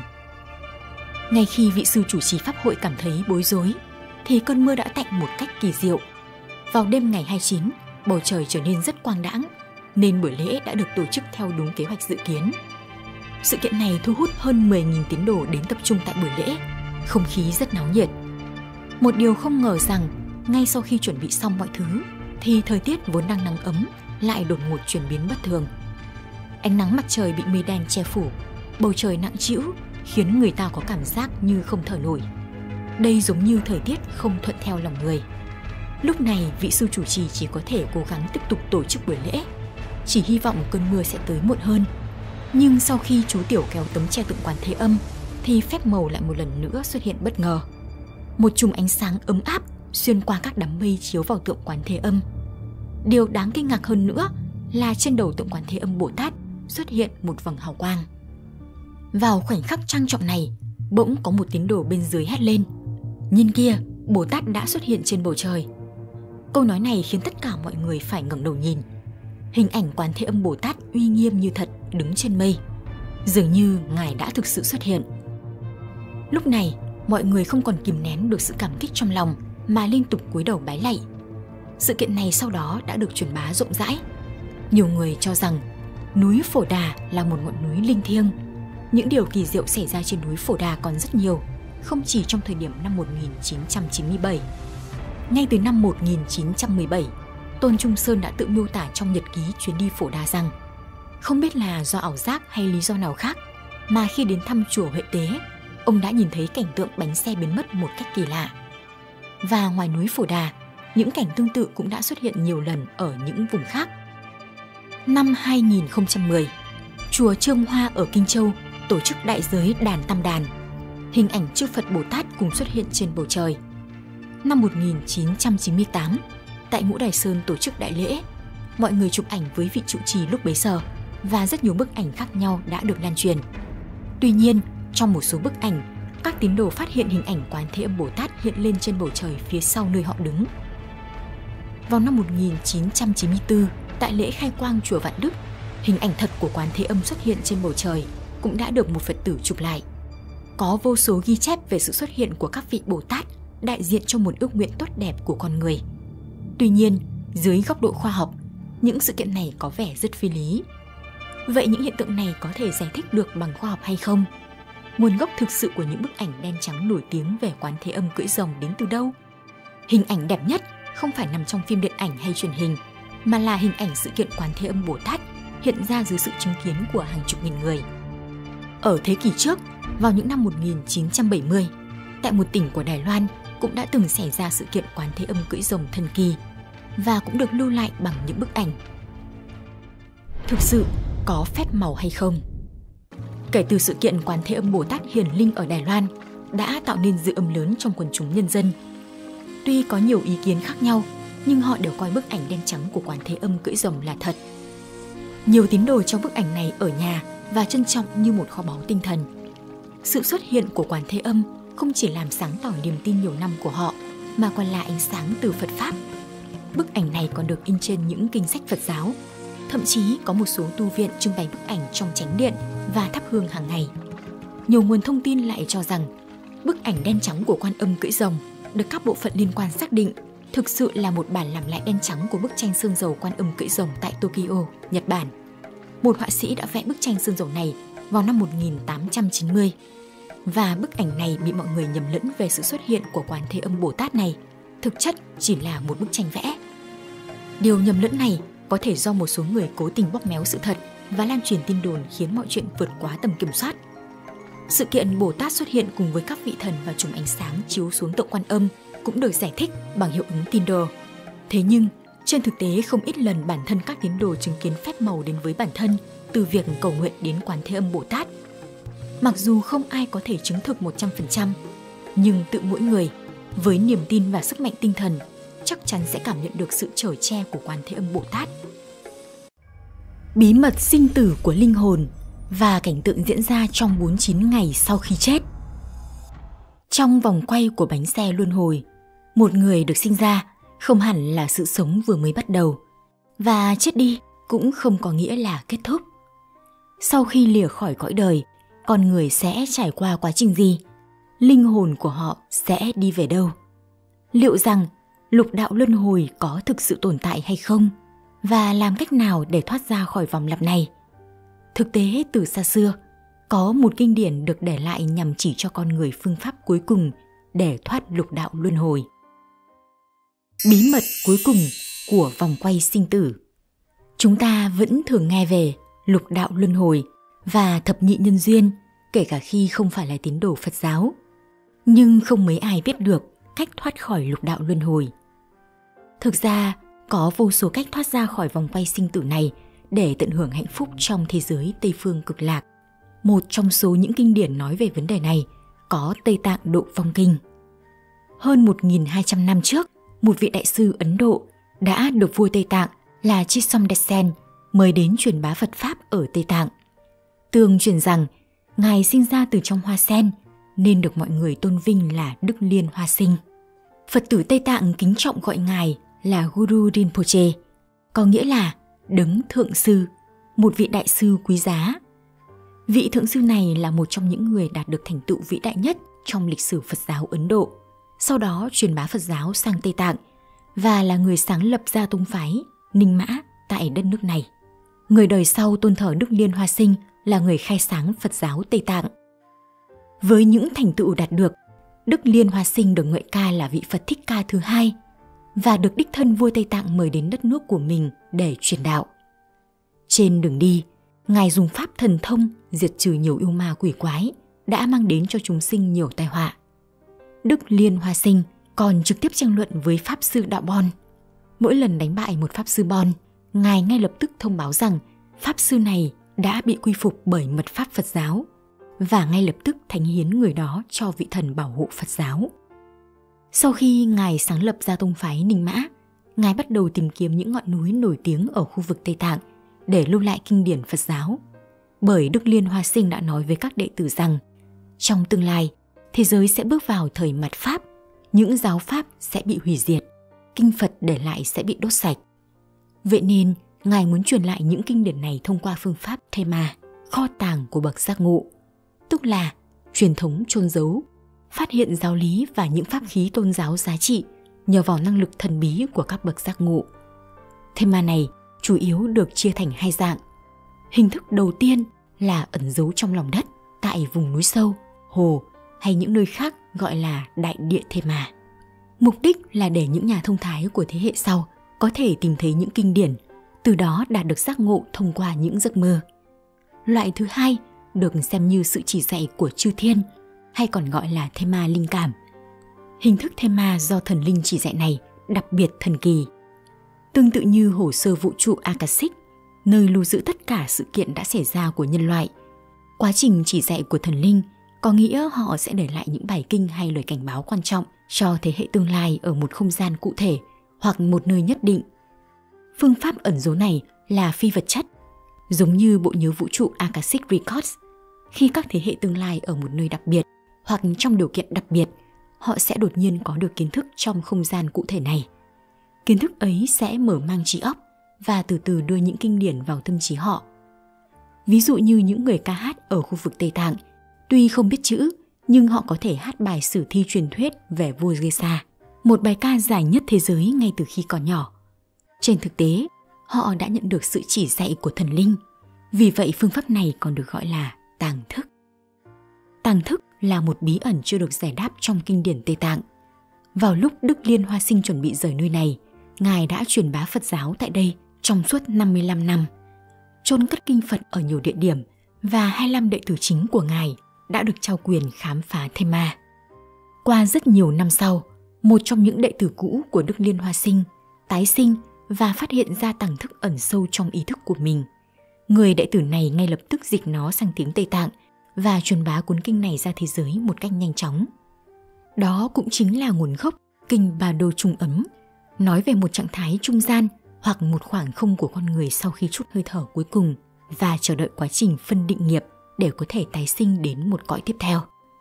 Sau đó, quyển kinh này đã được dịch sang tiếng Anh bởi tiến sĩ Walter Evans Wendt nhờ sự truyền dạy của sư phụ ông là cao tăng đạt ngõa tăng đỗ. Trong một lần tình cờ, nhà tâm lý học người Thụy Sĩ Cao Jung đã xem quyển sách này và cảm thấy như thể ông đã tìm được một kho báu. Ông nói rằng việc xuất bản quyển sách chắc chắn sẽ gây chấn động bởi đây là một tài liệu rất hữu ích cho các học giả và các tín đồ Phật giáo muốn tu thành Phật. Đối với những người muốn khai mở trí tuệ cũng rất cần thiết. Ngoài ra, quyển sách này còn mang ý nghĩa tuyệt vời đối với những người giáo dân muốn khám phá những bí ẩn của tâm hồn. Tuy nhiên do vấn đề dịch thuật, bản dịch tiếng Anh không thể diễn đạt chính xác mức độ của ba đô trung ấm. Vì vậy ba đô trung ấm lại được viết thành Tây Tạng Độ Vong Kinh. Năm 1935, phiên bản tiếng Đức của Tây Tạng Độ Vong Kinh cũng ra đời và đánh giá của Khôi Trung về quyển sách cũng trở thành lời tựa gắn liền với nó. Với vai trò là học trò nổi tiếng nhất của nhà tâm lý học nổi tiếng thế giới, Sigmund Freud, Coi Jung là một người rất thú vị khi ông luôn yêu thích triết học phương Đông. Trong xuyên suốt sự nghiệp của mình, Jung đã dành rất nhiều thời gian khám phá những bí mật của tôn giáo cùng triết học phương Đông. Từ mối liên hệ giữa Trung, Tây Tạng Độ Vong Kinh và Thái Ất Kim Hoa Tung Chỉ cho thấy tâm lý học phương Tây có thể trở nên hoàn hảo thực sự là dựa vào nền tảng triết học huyền bí và triết học văn hóa của phương Đông. Vì vậy, từ trong lời tựa, Khôi Trung đã nói rằng từ khi quyển Tây Tạng Độ Phong Kinh được xuất bản, ông luôn xem nó là người bạn đồng hành thường xuyên của mình. Ông đã tìm được sự giác ngộ và tiếp thu được lượng kiến thức đáng kể. Những lý thuyết cơ bản cũng được kế thừa từ quyển sách này, như vô ý thức tập thể, tự tính, tiềm thức tập thể, vân vân. 49 ngày sau khi chết, con người sẽ trải qua những gì? Tuy nhiên, vì người sống không thể trải nghiệm thế giới sau khi chết, cũng không ai có thể đưa ra đánh giá về trải nghiệm cái chết, nên quyển sách này luôn được xếp vào phạm vi của chủ nghĩa thần bí mà không được đưa vào phạm vi nghiên cứu học thuật một cách nghiêm túc. Tây Tạng Độ Vong Kinh mô tả ba quá trình từ khoảnh khắc trước khi qua đời của con người đến khi tái sinh trong 49 ngày. Vì vậy, quá trình xảy ra sau khi chết của một người không chỉ đơn giản là tiến hành tang lễ, mà thực chất là một nghi lễ quá độ. Như chúng ta đã biết, nguồn gốc của Tây Tạng Độ Phong Kinh chính là kinh Ba Đồ Trung ấm. Trong đó, Trung ấm ám chỉ sự hoàn thành một bối cảnh hoặc sự bắt đầu của một bối cảnh khác. Còn Ba Đồ đề cập đến sự chuyển tiếp hoặc khoảng thời gian. Chúng ta có thể chia quá trình này thành bốn phần. Ba đồ của cuộc đời này, ba đồ của cái chết, ba đồ của bản thân và ba đồ của tái sinh. Ba đồ của cuộc đời nói một cách dễ hiểu chính là toàn bộ quá trình của con người từ khi sinh ra cho đến khi qua đời. Thông thường, những người trong ba đồ này thuộc tuổi trung niên, tâm trí chưa giác ngộ nên đa số sẽ còn chìm đắm trong cõi thấp. Họ không biết bản chất của linh hồn là ánh sáng và không tin rằng quả cầu ánh sáng này là thứ duy nhất thật sự tồn tại trên thế giới. Vậy nên, họ sẽ không tin vào sự thực hành của thiền. Trên thực tế, trong phương pháp tu luyện đan dược nội tại của đạo giáo, có một lời giải thích chi tiết về loại ánh sáng cao vài mét, có thể tỏa sáng cùng với ánh trăng. Đó cũng là một trong những cách thoát khỏi lục đạo sau khi qua đời. Trong quá trình chuyển từ ba đô của cuộc đời sang ba đô của cái chết, linh hồn hoặc ý thức của bạn sẽ rời khỏi cơ thể và trải qua một hành trình đen tối để nhìn thấy một nhóm ánh sáng thần thánh. Phật giáo gọi đây là ánh sáng nguyên thủy, là chìa khóa để thoát khỏi luân hồi. Nếu một người đã giác ngộ thì không cần phải trải qua quá trình sau mà sẽ trực tiếp nhập vào quần thể ánh sáng và đi về cõi tịnh độ. Nếu là một người tà ác cũng không cần qua các bước sau bởi họ sẽ rơi thẳng vào địa ngục vô tận. Khi bắt đầu ba đồ này, mọi người đều có cơ hội thoát khỏi lục đạo luân hồi. Bởi sau khi một người Tây Tạng qua đời, các thành viên trong gia đình sẽ mời các vị lạt ma đọc vong kinh cho người đã khuất. Linh hồn của người mất vừa rời khỏi cơ thể, vẫn có thể nghe thấy kinh điển của Lạt Ma. Lúc này, nếu linh hồn trở nên giác ngộ, sẽ lập tức thoát khỏi lục đạo, giải thoát khỏi xiềng xích của thể xác và đạt được giải phóng hoàn toàn. Sau khi trải qua sự giải thoát vĩ đại này, linh hồn sẽ trở thành một thể ánh sáng dễ chịu và ấm áp. Nếu linh hồn chưa tu đạo, chưa giác ngộ, nhưng cũng chưa làm điều đại ác nào, sẽ bước vào thế giới thực ba ngày sau khi nhìn thấy ánh sáng. Linh hồn lúc này sẽ chuyển từ trạng thái hấp hối sang trạng thái tự phát vì không thể tin rằng mình đã chết. Điều kỳ diệu là ở trạng thái này, linh hồn có thể nhìn thấy thi thể của mình, nhìn thấy gia đình, bạn bè, người thân. Và dù cố gắng hét to đến mấy để giao tiếp với mọi người, nhưng không ai có thể nghe hay nhìn thấy nó. Linh hồn sẽ cảm thấy mình đang mơ, tự hỏi mình đã chết hay chưa. Tiếp theo đó, linh hồn sẽ đi đến gương hoặc giếng xem mình có bóng hay không. Đi đến ven sông hay bãi biển xem mình có để lại dấu chân nào không và phát hiện ra rằng mình đã chết. Vì vậy ở giai đoạn đầu kể từ lúc chết, linh hồn thường ở trạng thái ngủ hoặc hôn mê. Lúc này, nó không biết hoặc không thể tin rằng mình đã rời khỏi thế giới loài người. Mặt khác, linh hồn bị ám ảnh, lưu luyến bởi cơ thể ban đầu của mình và muốn quay trở lại thế giới thực. Ở trạng thái này, linh hồn có thể có thị giác, thính giác và khứu giác nhạy bén hơn trước khi còn sống. Bởi từng gắn liền với thân xác bằng xương bằng thịt trên thế giới, nên nó sẽ rất háo hức muốn có được thân xác bước vào thế giới con người một lần nữa để trải nghiệm lại thất tình lục dục. Vòng quay luân hồi bắt đầu xoay chuyển. Dấu hiệu này cho thấy rằng linh hồn sẽ sớm bước vào đầu thai lần nữa. Thực tế đây là cơ hội thoát khỏi lục đạo. Vị Lạt Ma tụng vong kinh sẽ nói với người đã khuất rằng bạn phải hết lòng lắng nghe, cái chết đã đến. Đừng cảm thấy trống rỗng hay lo lắng vì đây là điều mà mọi người đều trải qua. Khi đến lượt bạn trải qua quá trình ấy đừng ngần ngại rời khỏi thế giới này bởi bạn không thể ở lại đây với trạng thái hiện tại. Bây giờ ý thức của bạn đã rời khỏi cơ thể. Chỉ cần không còn ham muốn về thế giới hiện tại bạn sẽ ngay lập tức tiếp xúc với ánh sáng. Sau đó càng ngày bạn cũng sẽ càng thấy nhiều ánh sáng hơn, nhiều âm thanh và màu sắc khác nhau. Kỳ thực, đây chỉ là sự tưởng tượng của tâm trí bạn. Những người trải qua cận tử và sống lại kể rằng, họ thấy một thứ ánh sáng kỳ lạ trong đường hầm dẫn họ đến không gian khác. Nhưng đó không phải là ánh sáng thật sự của bản nguyên và không thể làm cho bạn được giải thoát. Nếu bình tĩnh và có thể hiểu được những câu kinh lạt ma đã nói trong tây tạng độ phong kinh, thì ánh sáng bản nguyên thực sự và ánh sáng giải thoát sẽ xuất hiện vong kinh nói rằng khi ở trong ba đô này mỗi người sẽ thấy rất nhiều ánh sáng. Đây không phải là ánh sáng thật, mà là suy nghĩ của mỗi linh hồn khi chúng ta còn sống. Ánh sáng nhìn thấy trong trải nghiệm cận tử mà nhiều người từng nói đến trước đây không phải là ánh sáng thực sự. Vì vậy, linh hồn phải phân biệt màu sắc và tính chất của ánh sáng xuất hiện. Ví dụ như, ánh sáng xanh đậm là ánh sáng trí tuệ của Đại Nhật Như Lai. Ánh sáng trắng sẫm có thể thu hút nhiều linh hồn, nhưng phải nhớ rằng nếu bị ánh sáng này thu hút thì linh hồn sẽ không được giải thoát. Bởi vì ánh sáng thật phải là ánh sáng thuần khiết. Nó giống như bản chất của linh hồn sẽ không mở nhạt mà trái lại màu sắc tươi sáng ấm áp và trong sáng vì tâm hồn bạn không có sự tu hành. Vì vậy linh hồn người đã khuất chưa thức tỉnh và chưa nhận thức được bản chất của linh hồn là ánh sáng nên sau khi nghe vong kinh sẽ giác ngộ và tìm được ánh sáng thanh tịnh với thuộc tính giống như bản thân trong nhiều tia sáng.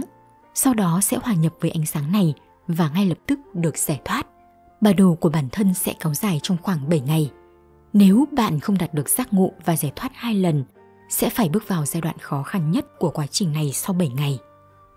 Trong giai đoạn sau, các lạt ma sẽ tụ họp với gia đình họ vào ngày thứ 8 để cầu nguyện lần cuối cho linh hồn người đã khuất.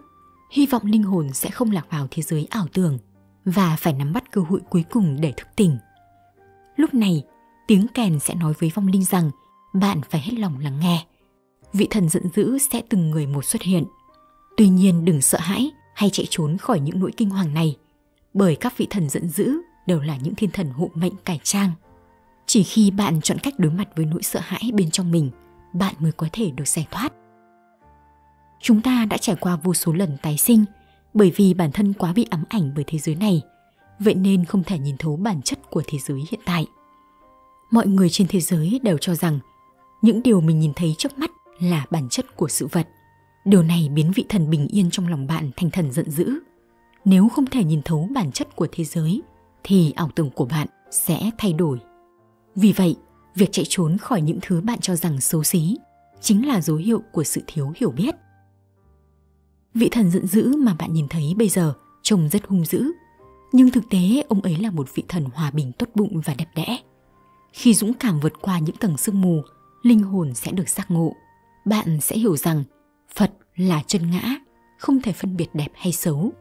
Đây cũng là ảo ảnh cuối cùng trong giai đoạn trung ấm của bản thân. Nếu linh hồn người đã khuất không được giải thoát, sẽ bước vào giai đoạn cuối cùng, đó là ba đồ tái sinh. Những vong linh trong bản đồ này sẽ có được một cơ thể tâm linh mới, và bởi vì chúng chưa có cơ thể, nên vong linh sẽ mạnh hơn khi còn sống, thậm chí sở hữu sức mạnh đáng kinh ngạc, có thể đi xuyên qua đá, núi và cây cối. Ngay cả vong linh ở giai đoạn thời gian và không gian này cũng sẽ cảm thấy rằng cái chết là không hẳn là điều xấu, nhưng thực chất đây là một cái bẫy của lục đạo luân hồi. Cơ chế luân hồi sẽ cho bạn một ảo ảnh mạnh mẽ và khiến bạn nghĩ rằng mình có thể ở trên thế giới. Bà đồ tái sinh nằm ở giai đoạn cuối, nên lúc này linh hồn người khuất sẽ càng nhớ cơ thể sống hơn, cho đến khi hình ảnh cơ thể sống trở nên mờ nhạt. Lúc này sẽ xuất hiện một hình ảnh mới. Linh hồn sẽ ngay lập tức biết rằng đó là cơ thể của nó ở kiếp sau và dần nhận ra bí mật tái sinh. Nó có thể sẽ cảm thấy buồn bã, muốn từ bỏ chính mình và không quan tâm đến việc trong tương lai sẽ tái sinh thành cái gì. Nhưng đây cũng là cơ hội cuối cùng cho vong linh, bởi nó vẫn có thể đầu thai thành con người. Việc bạn có thể hóa thành thu dữ hay không phụ thuộc vào tội lỗi mà linh hồn bạn đã phạm. Trên đây là toàn bộ quá trình bao đồ với thời gian 49 ngày, giống với 7 trí 7 tiết đầu tiên trong phong tục truyền thống của Trung Quốc. Phật giáo Tây Tạng cũng tin rằng mỗi cuộc đời đều có kiếp này và kiếp sau. Ví dụ một con bò sẽ có bản chất không phải là một con bò bình thường, mà kiếp trước có thể nó là con người, thậm chí là người thân hay bạn bè của bạn. Và mặc dù ở kiếp này nó là một con bò, nhưng ở kiếp sau có thể có mối quan hệ thân thiết với bạn. Vì vậy hãy đối xử tử tế với thế giới, đối xử tốt với tất cả chúng sinh. Bởi những cảm giác chúng ta có hiện tại không phải là tất cả, mà chỉ có ánh sáng mới là sự tồn tại thực sự. Ánh sáng này có thể làm hài lòng tất cả chúng sinh và là bản chất của sự sống ẩn giấu bên trong cơ thể bạn. Mục đích của Phật giáo và đạo giáo là để cho mọi người biết rằng thứ thực sự duy nhất trên thế giới này là ánh sáng tượng trưng cho linh hồn. Khi nói đến Phật giáo và một vài tôn giáo, ấn tượng đầu tiên của mọi người là thắp hương, thờ Phật hay thờ thần. Nhưng thực tế không phải như vậy, bởi Phật giáo Tây Tạng cũng không cho phép thờ thần. Trong quá trình nghiên cứu Phật giáo, chúng ta nên đọc thêm một số kinh điển để mở rộng tư duy, làm phong phú trí tưởng tượng và khả năng sáng tạo của bản thân. Đồng thời, giúp chúng ta hiểu sâu hơn về những bí ẩn ẩn sâu trong cơ thể con người. Vai trò của kinh văn cũng giống như sách vở mà chúng ta sử dụng trong trường lớp. Khi thực sự hiểu những câu kinh này, bạn sẽ hiểu được những thành tựu to lớn mà những người thành đạt vĩ đại để lại trong sách. Những thành tựu to lớn này có thể khiến bạn vượt lên trên quy luật tự nhiên. Những tôn giáo cần tu luyện là Phật giáo, đạo giáo, thường tu luyện bất tử. Mục đích là để chúng ta khám phá và hiểu được con người thật nhất ẩn sâu trong cơ thể. Con người thực sự này sẽ không biến mất cùng với cơ thể khi qua đời và biến mất vào thế giới. Nhưng nếu không được chính pháp, con người thực sự sẽ theo bạn đi qua vô số kiếp luân hồi. Vì vậy, đạo giáo và Phật giáo đều chủ trương tu đạo để thăng hoa nội tâm. Phật giáo chủ trương thiên nhiên và siêu việt thiên nhiên, còn đạo giáo chủ trương về sự thống nhất giữa thiên nhiên và con người. Đây là lý do tại sao nhiều người nói rằng Phật giáo và đạo giáo vốn có cùng một mối quan hệ, bởi cả hai tôn giáo này đều mong muốn các tín đồ có thể đạt được trạng thái thống nhất giữa thiên nhiên và con người bằng cách hoàn thiện bản thân. Phật giáo và đạo giáo không chủ trương thờ thần mà thờ những vị tiền bối đã tu hành đắc đạo. Giống như trong mối quan hệ thầy trò, tôn sư trọng đạo là nguyên tắc mà mọi người phải tuân theo. Vì vậy, tu hành theo Phật giáo và đạo giáo không phải là hủ tục mê tín, mà chính là một dạng khoa học siêu việt. Tây Du Ký nguyên bản đen tối đến mức nào? Không ai dám xem khi được dựng thành phim điện ảnh và phim truyền hình. Các bạn đã từng theo dõi video về phiên bản điện ảnh Tây Du Ký năm 1927 bị cấm chiếu trên kênh rồi đúng không? Tại sao Tây Du Ký không thể được làm lại theo nguyên tác?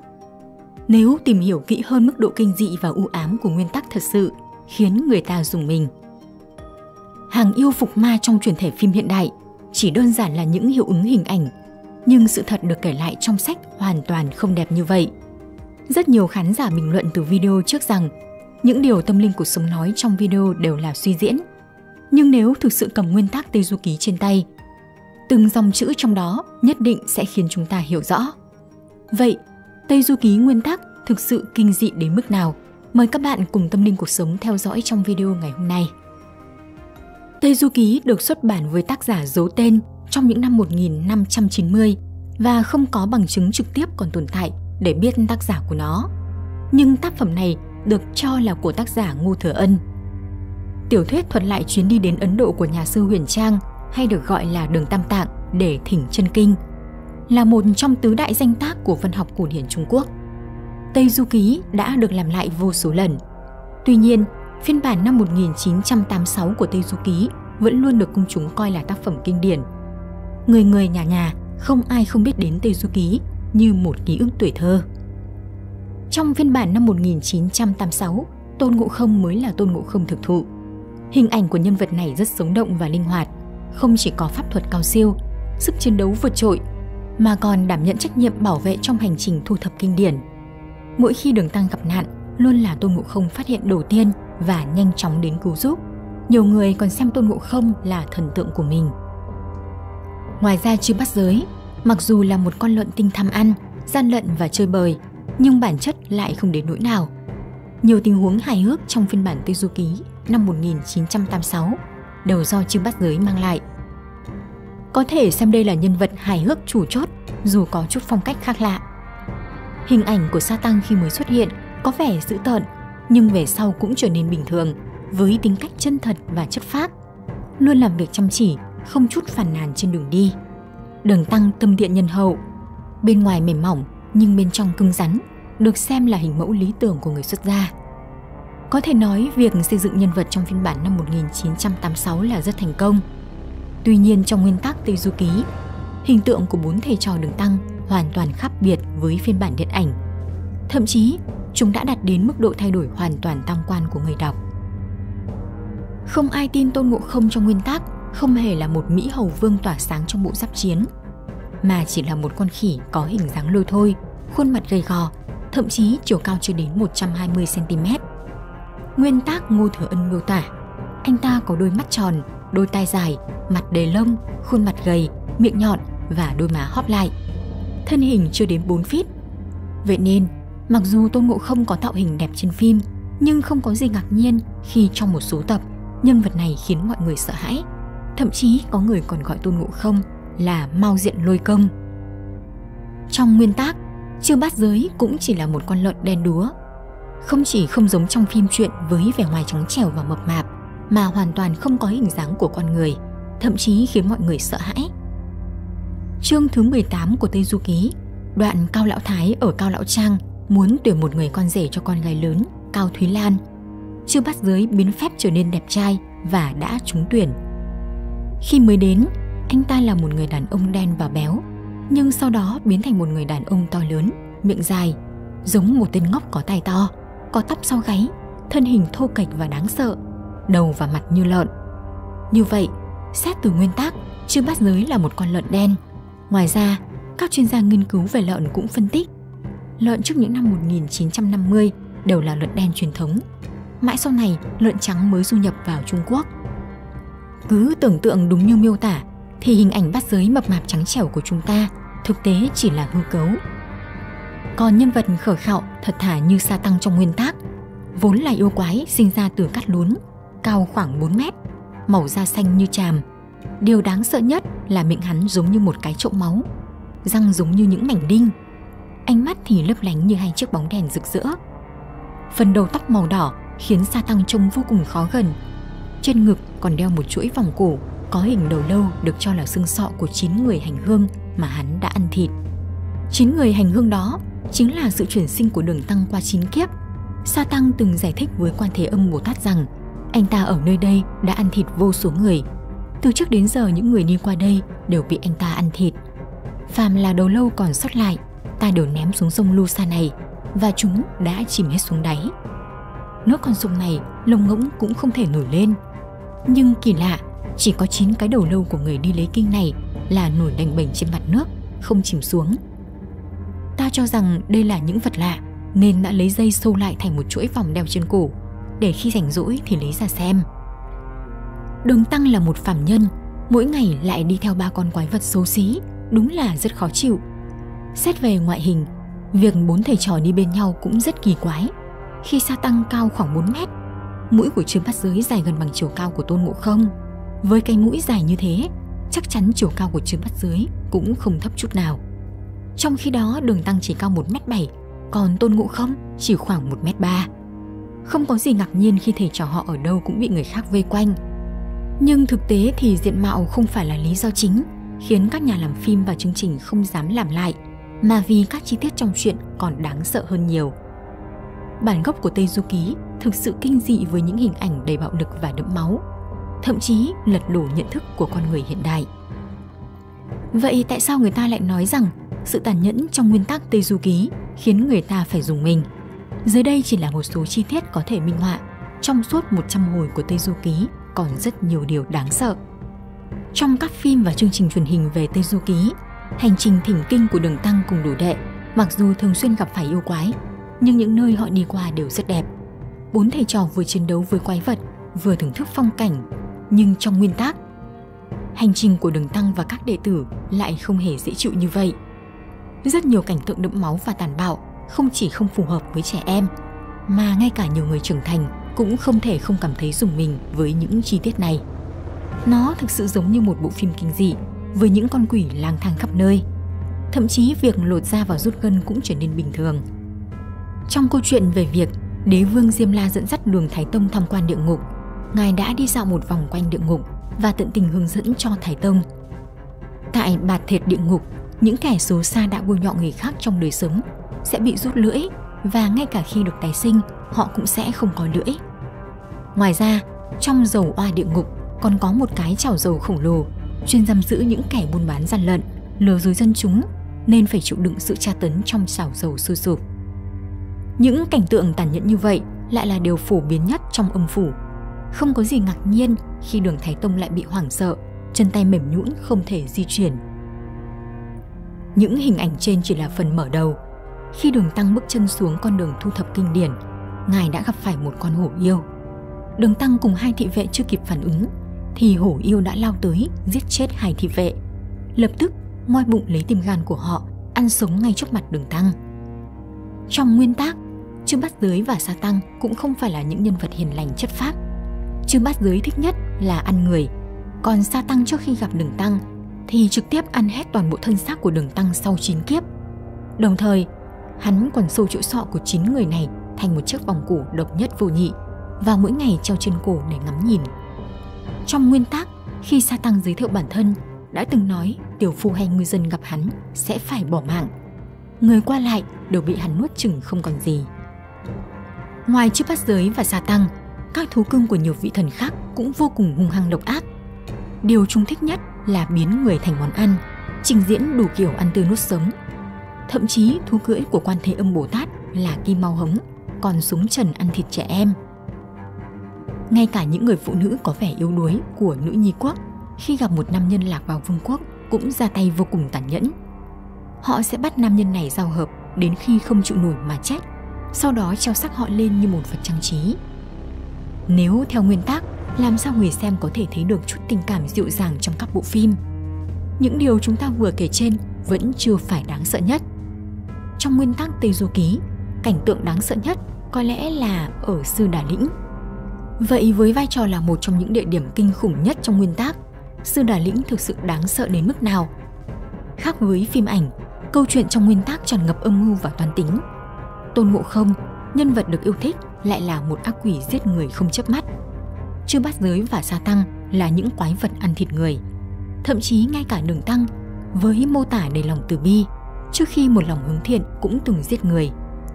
Trong hồi chín, khi nói về thân thế của đường Tăng viết rằng cha Tam Tạng tên là Quang Nhụy thì đỗ Trọng Nguyên rồi lấy vợ là Ôn Kiều, con gái thừa tướng. Trên đường đi nhậm chức Chi Châu, quận thành Giang Châu, vợ chồng Quang Nhụy đi đò qua sông Hồng Giang.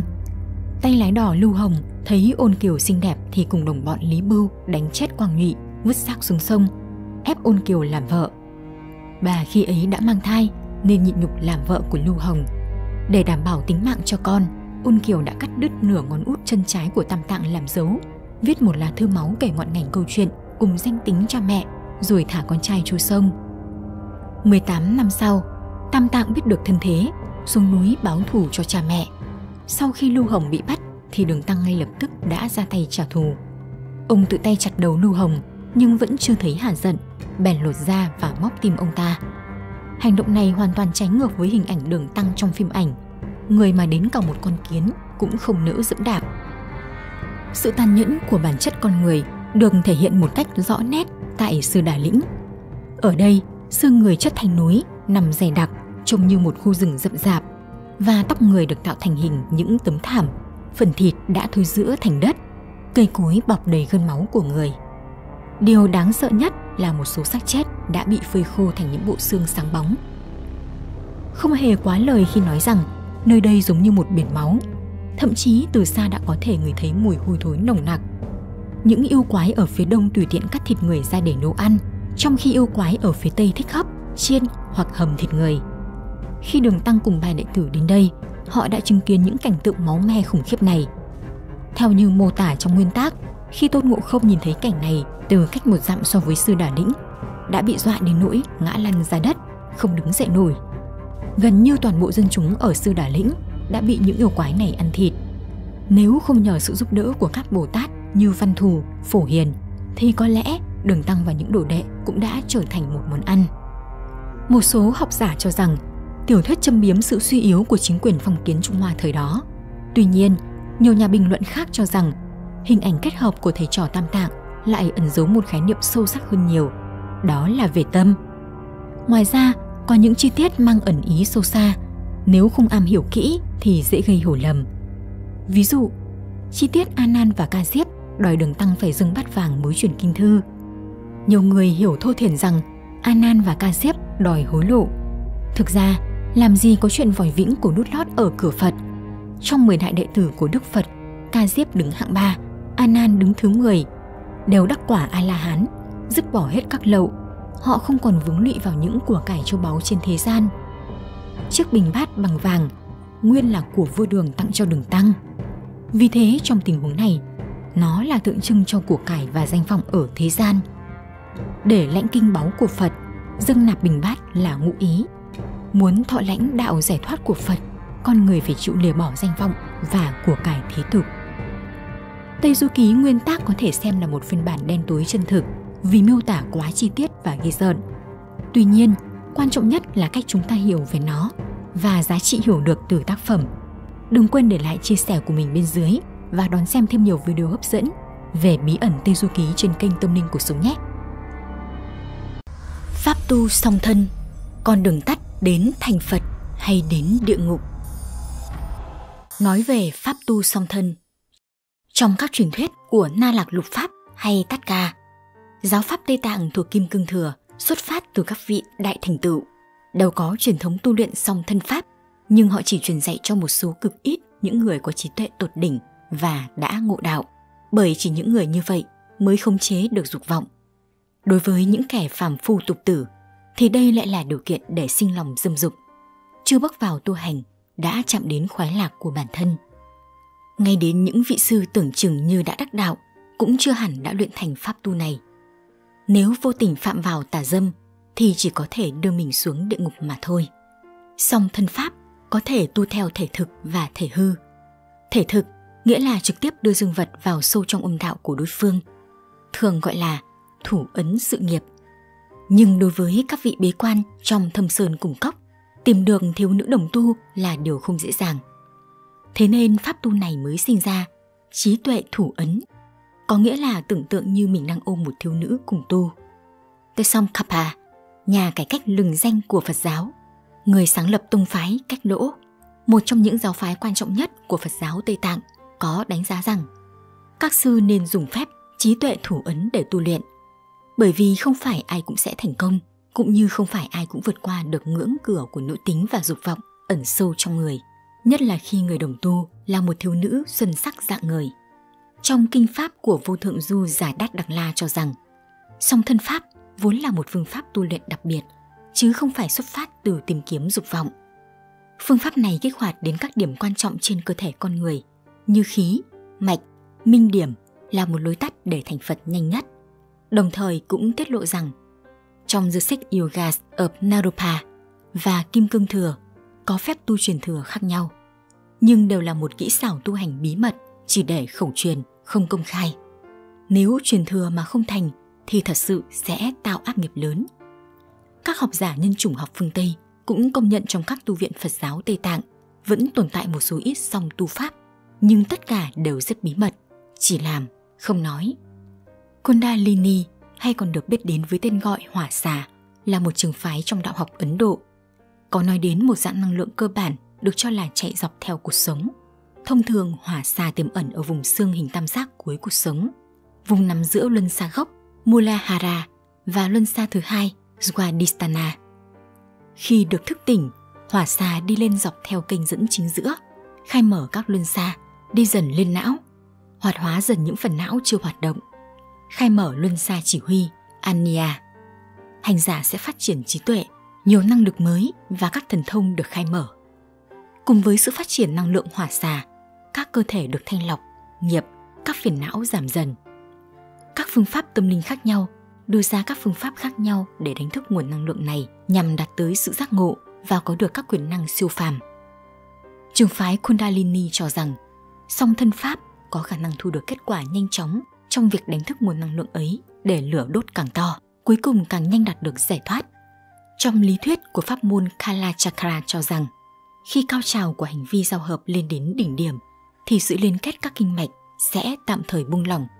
Có một luồng gió nhẹ sẽ tuồn vào trung mạch, nadi và dừng tại đây. Minh điểm xích bạch trong cơ thể cũng sẽ dung hòa thành một.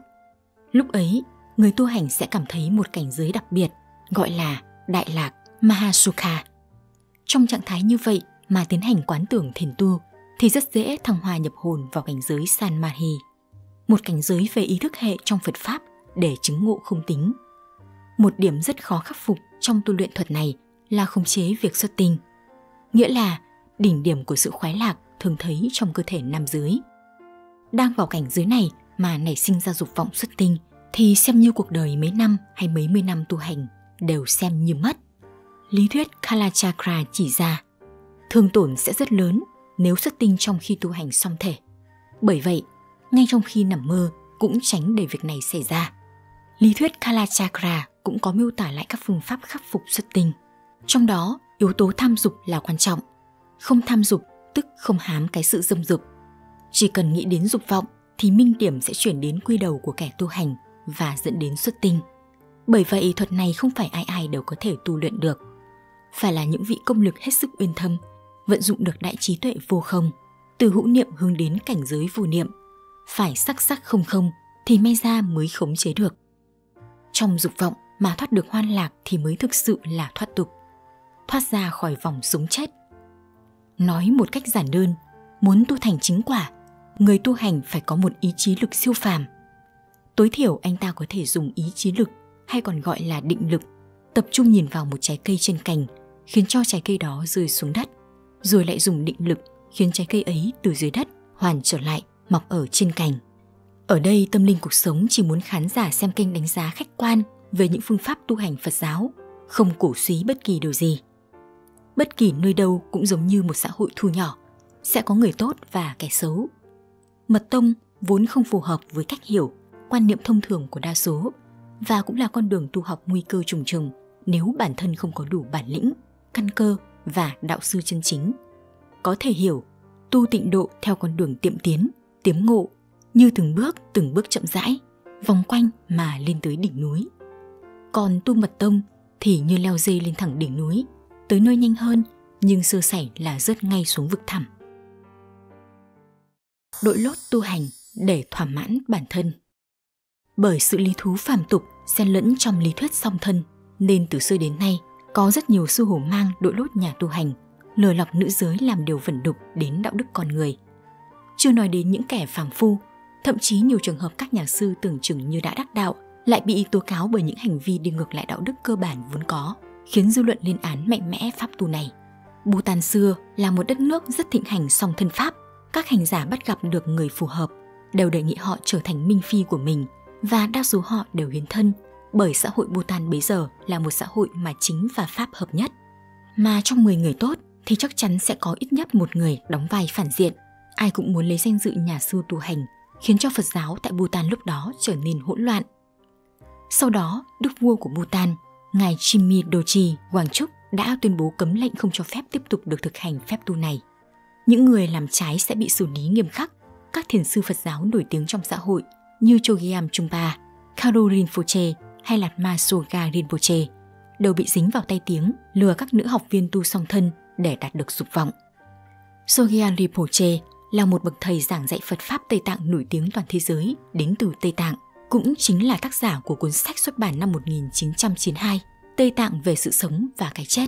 Cuốn sách này cho tới nay đã phát hành bằng 34 thứ tiếng khác nhau, với tổng cộng gần 3 triệu bản được phát hành tại 80 quốc gia. Sogyal Rinpoche cũng chính là người sáng lập trung tâm Ginpa. Trong suốt hàng chục năm trời, Sogyal Rinpoche vẫn được tôn sùng gần như là một vị thánh, nhất là vì ông đã được xác nhận là hóa thân của một bậc đạo sư vĩ đại, Thơ Thôn Songya Lirap Lingpa, cũng chính là thầy dạy của Đức Đạt Lai Lạt Ma đời thứ 13. Cho đến khi nhiều bức thư ngỏ của các cựu đệ tử của Soga Rinpoche tố cáo vị đạo sư này đã có nhiều hành động lạm dụng về tâm lý và tình dục, cũng như có một lối sống vô cùng xa hoa. Thật ra thì trước đó, những hành động của Sogyal Rinpoche đã bị tố cáo công khai trong một cuốn sách tạm dịch tựa đề là những người hiến dâng cho Phật giáo của nhà thân chủng học Pháp Marion Dapsansi.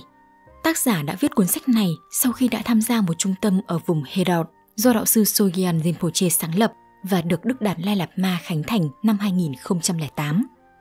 Ngay từ năm 2011, tạp chí Mariani của Pháp cũng đã từng đưa ra các cáo buộc tương tự về Sogyal Rinpoche.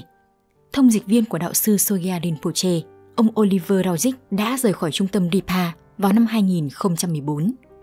Lúc đó, ông đã lên tiếng báo động về những hành vi của vị đạo sư này. Rorick cho biết có hai phụ nữ kể với ông là họ đã bị cưỡng hiếp bản thân ông cũng đã chứng kiến những lạm dụng tài chính của Songria Rinpoche. Mãi cho đến năm 2018, Đức Đạt Lai Lạt Ma mới chính thức phát biểu trong một hội nghị ở Ấn Độ rằng một số định chế Phật giáo còn bị ảnh hưởng của chế độ phong kiến, phải chấm dứt điều này. Những kẻ đó không theo đúng lời dạy của Đức Phật. Điều duy nhất phải làm đó là công khai hóa những chuyện đó trên mặt báo, trên đài phát thanh. Soya Rinpoche không còn là bạn của tôi nữa. Những tai tiếng này làm ảnh hưởng đến thanh danh của Phật giáo Tây Tạng trên đất Âu Mỹ, thậm chí là cả những tín đồ Phật giáo Tây Tạng trên toàn thế giới. Điều này đã khiến Đạt Lai Lạt Ma nổi giận tuyên bố nếu có vị nào dùng xong thể pháp để lừa lọc nữ giới sẽ bị công bố danh tính và đuổi khỏi tăng đoàn. Nhiều tác giả chia sẻ bài viết của mình để cảnh báo nếu như những cô gái trẻ ngây ngô thì chỉ có thể làm vật hiến tế cho những kẻ đội lốt những người tu hành thực thụ. Điều này rất cần thiết nhưng để giúp mọi người đánh giá khách quan về pháp song tu thân từ gốc rễ, để phân định đâu là chân tu, đâu là kẻ đội lốt người tu hành lại càng quan trọng hơn. Pháp tu này vẫn nên bị cấm thực hiện bởi những lỗ hổng của nó rất dễ làm lung lay ý chí tu hành và khơi dậy dục vọng của con người. Đừng nên thử thách bản thân trong hoàn cảnh quá nhiều cám dỗ như thế. Vì sao tượng Phật Di Lặc luôn nở nụ cười? Ngài cười vì điều gì? Di Lặc Đại Phật ở Tuyết Đậu Sơn hay tượng Phật Di Lặc ngồi trên đỉnh núi Cấm, tỉnh An Giang, Việt Nam. Hoặc nếu bạn đã từng một lần đến thăm những ngôi chùa dù lớn nhỏ, chúng ta sẽ dễ dàng thấy hình ảnh tượng Phật Di Lặc mặc áo cà sa, tươi cười chào đón.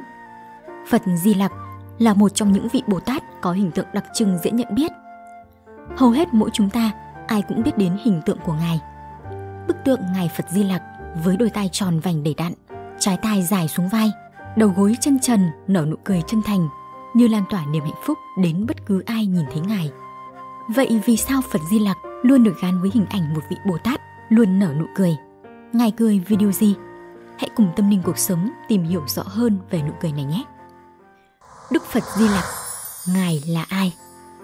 Trong Kinh Phật, Bồ Tát Di Lặc ra đời ở Tiểu Vương quốc Ấn Độ thời cổ đại cho một gia đình đạo Bà La Môn ở miền Nam Ấn Độ. Sau này, Ngài đã trở thành một tu sĩ Phật giáo. Đến cuối đời khi viên tịch, Ngài về trời và được xem là vị Phật thứ năm. Vị Phật cuối cùng sẽ xuất hiện sau khoảng 3 vạn năm sau và thay thế Đức Phật Thích Ca khi người nhập Niết Bàn. Ngài ấy sẽ được sinh ra để kế thừa nhân quả của Đức Phật Thích Ca Mâu Ni. Thành Phật dưới gốc cây Long Hoa Bồ Đề ở thế giới Ta Bà, đạt được giác ngộ hoàn toàn. Ngài sẽ giảng dạy Phật Pháp, giáo hóa chúng sinh và chứng ngộ thành Phật. Trong hầu hết các tu viện Phật giáo, hóa thân của Bồ Tát Di Lặc được kính cẩn đúc tượng và bài trí theo nguyên mẫu của Ngài. Theo truyền thuyết, Đức Phật có chân thân là một người tai to, khuôn mặt tròn trịa hiền lành và rất hay cười.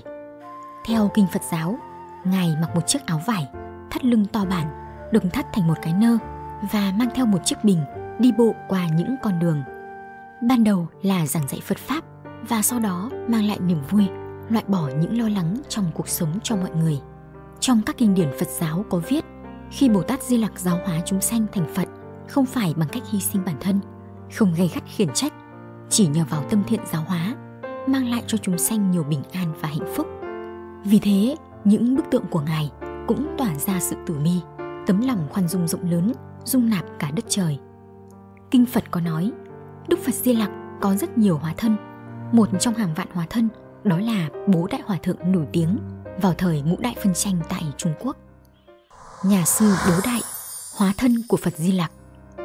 Thời ngũ đại, tại Trung Quốc vào thế kỷ thứ 10, có một vị hòa thượng túi vải, ung dung tự tại, bình thản nói cười khắp thế gian, có tấm lòng rộng lượng, nhẫn chịu được những việc người đời không thể nhẫn. Những ai gặp ông đều gọi ông bằng bố đại hòa thượng, mang ý nghĩa chỉ vị hòa thượng đeo túi vải. Ông thường giảng kinh cho người nghèo, làm nhiều điều màu nhiệm lạ thường. Ông luôn xuất hiện mọi lúc mọi nơi với vẻ mặt tươi cười, chỉ chơi với trẻ em, mặc cho có bị mắng chửi thậm tệ. Nhà sư Bố Đại được nhân dân mến phục vì có tài tiên tri thời tiết mưa nắng. Một khi ông ngủ ngoài đường, mọi người biết trời sẽ tốt. Ngược lại, lúc ông đi giày dép và kiếm chỗ tạm trú thì trời sẽ mưa. Tính tình của ông cũng rất ngược đời, được cho là theo tinh thần thiền tông. Trả lời câu hỏi già trẻ bao nhiêu, ông nói, già như hư không. Khi đến giữa chợ, có người hỏi ông tìm gì, ông trả lời, ta tìm con người. Một hôm có vị tăng đi phía trước, sư bố đại liền vỗ vai ông ta nói, cho tôi xin một đồng tiền. Vị tăng bảo, nói được thì tôi cho ông một đồng tiền. Đại sư liền bỏ bao xuống đất, đứng im lặng, khoanh tay không nói. Sau khi nhập Niết Bàn, mọi người mới biết ông chính là Phật Di Lặc đã hóa sinh thông qua bài kệ mà ông để lại. Di Lặc, chân Di Lặc, phân thân thiên bách ức, thời thời thị thời nhân, thời nhân sự bất thức. Bài kệ có nghĩa là Di Lặc, đôi chân Di Lặc, phân thân thành trăm ngàn người, đứng trước mặt người đời mà người đời chẳng hay biết. Tâm ông thành tịnh, trong sáng như nhật nguyệt trên trời, mặc dù là một thân thể người nhưng có thể phân thân thành hàng trăm hàng vạn người. Ông cầm túi vải đi hóa duyên khắp nơi, phân phát lương thực mình xin được cho người nghèo. Trong một bức tranh có tên Thập tử náo Di Lạc Đồ vào thời Minh mặt Thanh Sơ, chỉ thấy hình ảnh của bố đại hòa thượng vóc dáng mập mạp, phanh ngực lộ bụng, miệng cười sảng khoái. Nhìn thấy tay phải của ông cầm chắc Phật Châu, ngồi dựa vào túi vải. Đám trẻ hoặc là bám trên vai, hoặc là nắm kéo tay ông, hoặc là giật lấy cả cây thiền trượng, hoặc là giằng lấy chuỗi Phật Châu. Sự quấy phá của đám trẻ và tấm lòng từ bi nhẫn nại của ông khiến cho bức tranh sống động như thật. Nụ cười từ tấm lòng nhẫn nhục. Trong cuộc hành trình khất thực của mình, ông gặp rất nhiều ánh mắt kỳ thị, xa lánh của mọi người, nhưng ông không giải thích, không quan tâm, không tức giận, không ăn miếng trả miếng. Ông thường khuyên người ta học cách nhẫn nhục. Trên đời này, quả thực thị phi, yêu ghét là rất nhiều, nhưng nghĩ kỹ lại thì có thể làm được gì? Nếu có thể mở rộng tấm lòng thì có thể nhận được khuất phục. Nếu như có thể buông tâm xuống được thì có thể xua tan màn đen. Dù là đối với người tri kỷ hay là oan gia, đều có thể chung sống hòa hợp. Trong tâm không vì yêu hận mà tổn thương và phiền não. Thân tâm tự nhiên điển đạm tự tại. Nụ cười từ tấm lòng khiêm tốn, cởi mở. Hình ảnh của Phật Di Lặc tượng trưng cho tấm lòng bao la bác ái. Ngài luôn bao dung những điều khó dung thứ trên đời, nói lời tử tế và luôn mỉm cười. Cười vào những kẻ lố bịch trên thế gian. Việc chịu đựng người khác không phải là thể hiện sự kém cỏi và yếu đuối của Ngài, mà nó thể hiện lòng thương xót đối với người đó. Khi ta khoan dung với lỗi lầm của người khác, chấp nhận nhiều ý kiến khác nhau, chịu đựng nỗi đau vì hạnh phúc của người khác, thậm chí hy sinh bản thân mình thì đã đạt đến sự bao la bác ái mà Ngài muốn truyền dạy. Hòa thượng Bố Đại, hóa thân của Bồ Tát Di Lặc còn có khả năng tự tay cấy lúa. Ông thường hay nói với nông phu rằng tay cầm mạ non, gieo phúc điền, cúi đầu liền thấy trời trong nước. Ông đã dùng lời hết sức giản dị rõ ràng nói với người đời. Những ai hay vui vẻ bố thí thì có thể không ngừng gieo cấy ruộng phúc của mình. Khi bạn cúi đầu, nhẫn chịu được khí tức trong lòng, lại có thể ngay trong khoảnh khắc cúi đầu đó nhìn thấy bầu trời rộng lớn hiện ra trong nước. Thì ra bầu trời cao như không với được kia chính là ở ngay trong mắt chúng ta. Vậy nên Hòa Thượng Bố Đại nói, lùi về sau, hóa ra lại chính là tiến về phía trước. Đặc biệt là khi tranh cãi với ai đó, hãy học cách khiêm tốn, vì độ lượng đối với người khác là đang mang lại niềm hạnh phúc cho chính mình. Nụ cười từ sự vui vẻ, lạc quan. Theo truyền thuyết, bố đại hòa thượng đã từng tu hành tại chùa Hưng Nghiệp. Sau đó ông du hành khắp nơi để giảng dạy Phật Pháp. Hành trang mang theo chỉ đơn giản là một chiếc túi lớn bằng vải bố, được buộc trên đầu thiền trượng. Túi vải này có thể đựng mọi thứ, thấy vật xin vật, thấy cơm xin cơm. Ông không lo lắng, không vướng bận, chỉ cần đặt túi xuống là có thể nhẹ nhàng vui vẻ, sống một cuộc sống hạnh phúc. Hình ảnh hòa thượng bố đại vác chiếc túi vải du ngoạn nhân gian, dường như đang muốn nhắc nhở thế nhân. Mọi phiền não của thế gian như những vật được cho vào túi vải, gánh lên vai sẽ cảm thấy rất nặng, nhưng khi đặt xuống lại rất nhẹ nhàng. Khi buông bỏ hết mọi ân oán trong lòng thì sẽ thu được vô lượng phúc đức dùng mãi không cạn. Có thể thấy rằng một người sống trên đời chỉ cần không mưu cầu sẽ có cuộc sống đơn giản và thoải mái. Ngược lại, nếu cứ mù quáng theo đuổi ham muốn, càng đuổi càng mệt mỏi, chán nản thất vọng. Dù trong tình huống nào, cũng nên duy trì một tâm trí vui vẻ lạc quan, không đặt nặng vấn đề vật chất. Trong phật giáo, nụ cười của đức thích ca được gọi là nụ cười an lạc, nụ cười của đức phật di lặc là nụ cười hoan hỷ. Nếu trong cuộc sống chúng ta luôn trao đến nhau những nụ cười vô nhiễm, thì đời sống này sẽ an lạc biết bao. Tượng bồ tát di lặc ngồi trên cao, chân mày giãn ra, miệng cười tươi rụng rãi ngài dùng ngôn ngữ yêu thương của phật pháp để gần gũi chúng sanh. Chúng sanh nhờ thái độ từ bi và tử tế của ngài mà trở nên thiện lành, hạnh phúc. Ngoại hình có quyết định vận mệnh hay không? Âm mưu đế quốc 2.000 năm trước và sự thật của lời tiên tri thiên mệnh. Bạn có tin vào xem tướng hay không? Không chỉ trong thời kỳ phong kiến mà ngay cả trong nền văn minh hiện đại, vẫn có nhiều nhà cầm quyền dựa vào việc xem tướng để có được sự hợp pháp trời ban nhiều nhà cầm quyền đã thực hiện những tiên đoán về tướng mạo và điều kỳ lạ nhất là rất nhiều trong số những tiên đoán này đã trở thành hiện thực. Vậy những người này có thật sự được số mệnh giao phó? Liệu tướng mạo có thực sự quyết định tương lai của một người hay không? Mời các bạn cùng tâm linh cuộc sống theo dõi trong video ngày hôm nay. Tháng 12 năm 1979, tướng Chun Do Hwan, chỉ huy Cục An ninh Quân đội Hàn Quốc, đã phát động một cuộc đảo chính quân sự trở thành nhà lãnh đạo thực sự nắm trong tay quyền lực tại Hàn Quốc. Ban đầu Chun Do-hwan dự định tận dụng thời cơ để ép vị tổng thống lúc bấy giờ là Choi Kyung-ha phải từ chức bằng sức mạnh quân sự. Tuy nhiên, các tầng lớp xã hội đều rất không hài lòng với hành động đảo chính của ông. Chun Do-hwan không phải là không có sức mạnh để đối đầu. Nhưng rõ ràng việc chống lại toàn bộ xã hội sẽ không có lợi cho quyền lực lâu dài của ông. Vì vậy, ông đã phái người đi tìm thầy tướng số với hy vọng có thể mượn việc xem tướng để tìm kiếm danh tiếng cho bản thân. Thật không ngờ, những người thầy tướng số không hiểu được ý định này. Ban đầu, khi nhìn vào diện mạo của Chun Do Hoan, họ thẳng thắn cho rằng đặc điểm gương mặt của ông không thể làm nên vị lãnh đạo tối cao. Chun Do Hoan không hài lòng với câu trả lời này và đã cho thuộc hạ của mình đánh đập, ép buộc các thầy tướng số phải thay đổi ý kiến. Kết quả là diện mạo của ông từ trình độ bình thường đã biến thành người được trời ưu ái. Có được câu trả lời như ý, Chun Do Hoan công khai ý kiến của các thầy tướng số một làn sóng dư luận cũng được hình thành trong xã hội, ủng hộ cho sự thăng tiến của ông. Năm 1980, Trung Đức Hoang thuận lợi lên nắm quyền. Nhìn từ góc độ này thì lời tiên tri dường như chỉ là một phương diện nhân tạo nhằm tạo ra thần thánh. Nhưng liệu những lời tiên tri trong lịch sử cổ đại có phải đều như vậy hay không? Thực tế, khái niệm xem tướng được xếp vào loại nghiên cứu tiên tri. Nghiên cứu tiên tri được chia thành hai phần là phân biệt tiên tri và phân tích, giải thích tiên tri. Thông thường, trong các sách tiên tri cổ đại có hai loại. Một là loại sử dụng văn bản làm phương tiện, chẳng hạn như lời nói vong tần giả hổ vào cuối triều đại tần. Còn lại là sử dụng hình ảnh làm phương tiện. Thể loại này có một lịch sử rất lâu dài, có thể truy ngược về thời kỳ Thương và Chu. Trong thời nhà Thương, sự sợ hãi đối với quyền lực của hoàng đế vẫn chưa đủ. Vậy nên, sức mạnh răn đe của hoàng quyền không đủ để bao trùm toàn bộ thiên hạ. Điều mà con người sợ hãi nhất chính là trời. Do đó, để duy trì quyền lực, người cai trị triều đại thương đã tạo ra một thực thể tồn tại trên chính họ. Đó chính là thiên mệnh.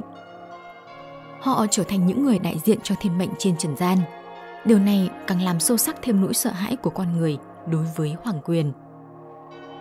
Đến thời nhà Hán, khái niệm thiên mệnh do trời định đã ăn sâu vào tâm trí mọi người.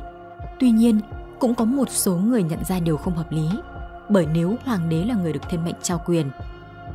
Vậy thì không phải bất cứ điều gì ông ta làm đều là đúng sao?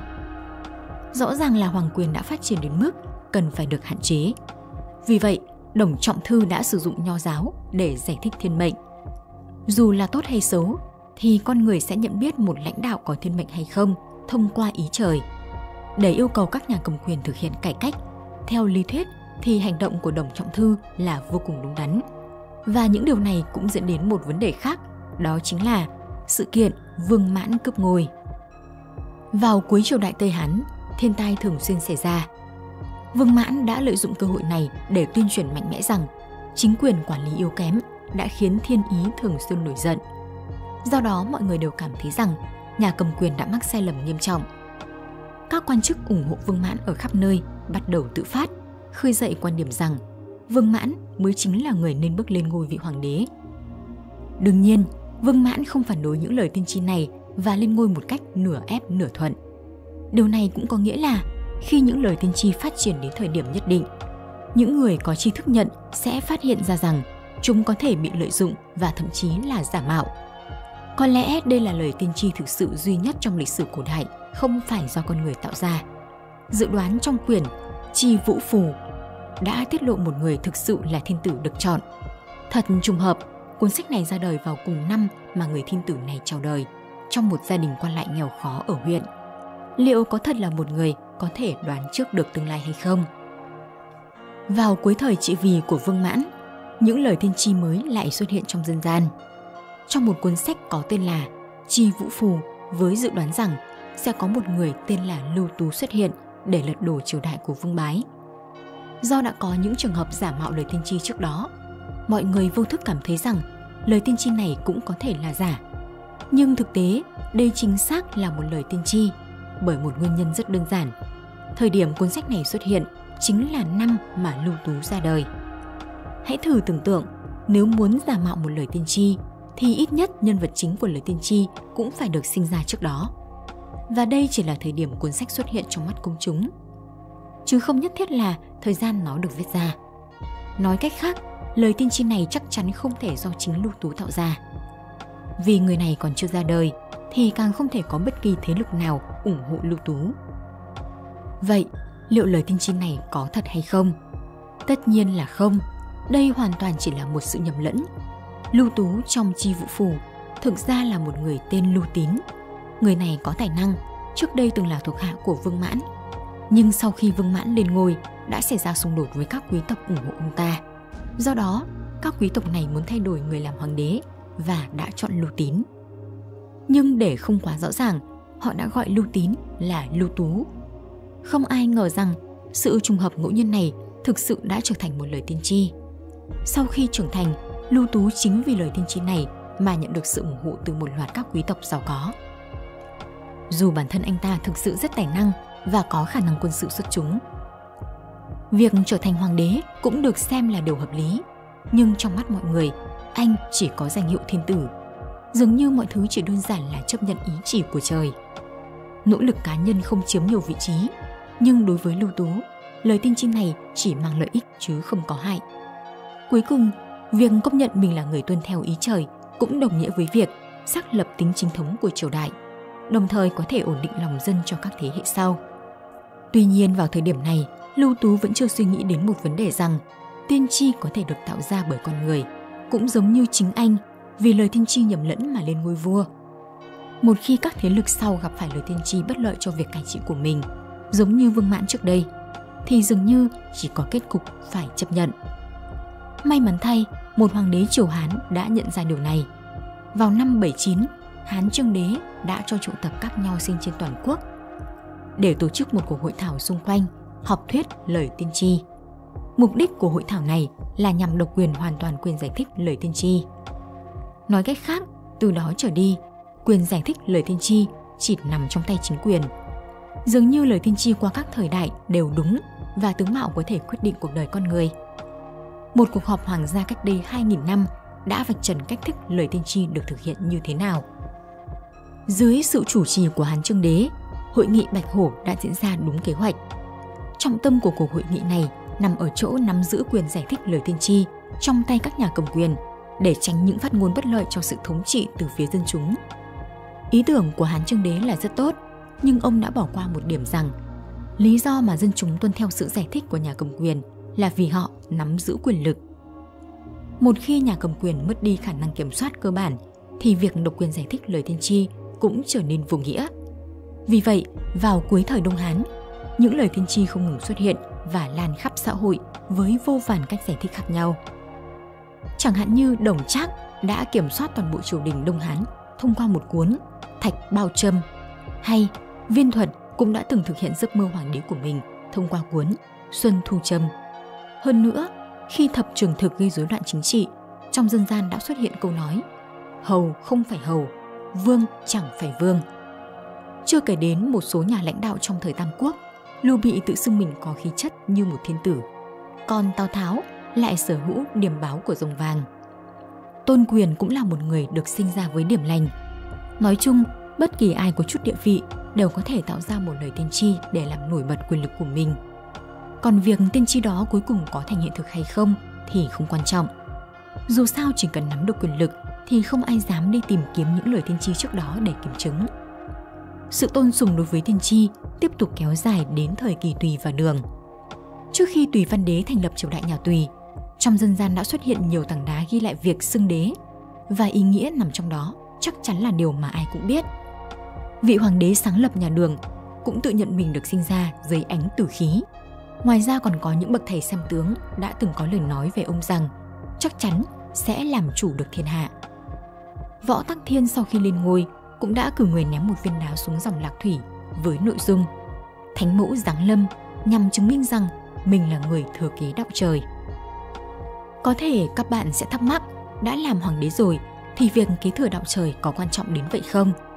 Trong lịch sử Trung Quốc, việc liệu người cầm quyền có tuân theo đạo trời hay không thực sự rất quan trọng bởi một lý do rất đơn giản rằng mặc dù người cầm quyền là người quản lý thế gian nhưng quyền lực này lại rất bấp bênh chỉ khi tìm được một thực thể cao hơn thế gian chẳng hạn như trời thì họ mới có thể giữ vững quyền lực của mình do đó khi được mặc hoàng bào người sáng lập triều đại bắc tống là triệu khuông dẫn cảm thấy xấu hổ vì mình không danh chính ngôn thuận, đã tự biên tự diễn ra một lời tiên tri về khí chất của thiên tử ở đây, vai trò của lời tiên tri giống như việc bạn phải mặc đồ xinh đẹp trong dịp tết nguyên đán vậy có thể giữa chúng không có mối liên hệ lớn đến vậy nhưng nếu không thực hiện, thì người cầm quyền sẽ bị người khác chỉ trích.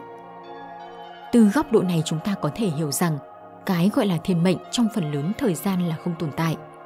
Nếu có một số thiên mệnh tồn tại trong một khoảnh khắc thì cũng chỉ vì mọi người tạm thời chưa tìm thấy được dấu vết của nó bị giả mạo mà thôi. Đồng thời, việc sử dụng những lời tiên tri giả mạo ý trời để giải thích một số vấn đề cũng cho thấy con người về cơ bản là sợ hãi những điều chưa biết và những hiện tượng ngẫu nhiên. Do đó, họ cần phải thiết lập mối quan hệ nguyên nhân, kết quả một cách ép buộc. Bạn có nghĩ thiên mệnh là có thật hay không? Hãy để lại ý kiến của mình bên dưới phần bình luận. Đừng quên đón xem thêm nhiều video về những tấm gương tu học Phật giáo, sự kiện tâm linh bí ẩn và những lời tiên tri hấp dẫn từ tâm linh cuộc sống vào lúc 8 giờ tối mỗi ngày bạn nhé. Cảm ơn mọi người đã quan tâm theo dõi. Chúc bình an đến với tất cả các bạn.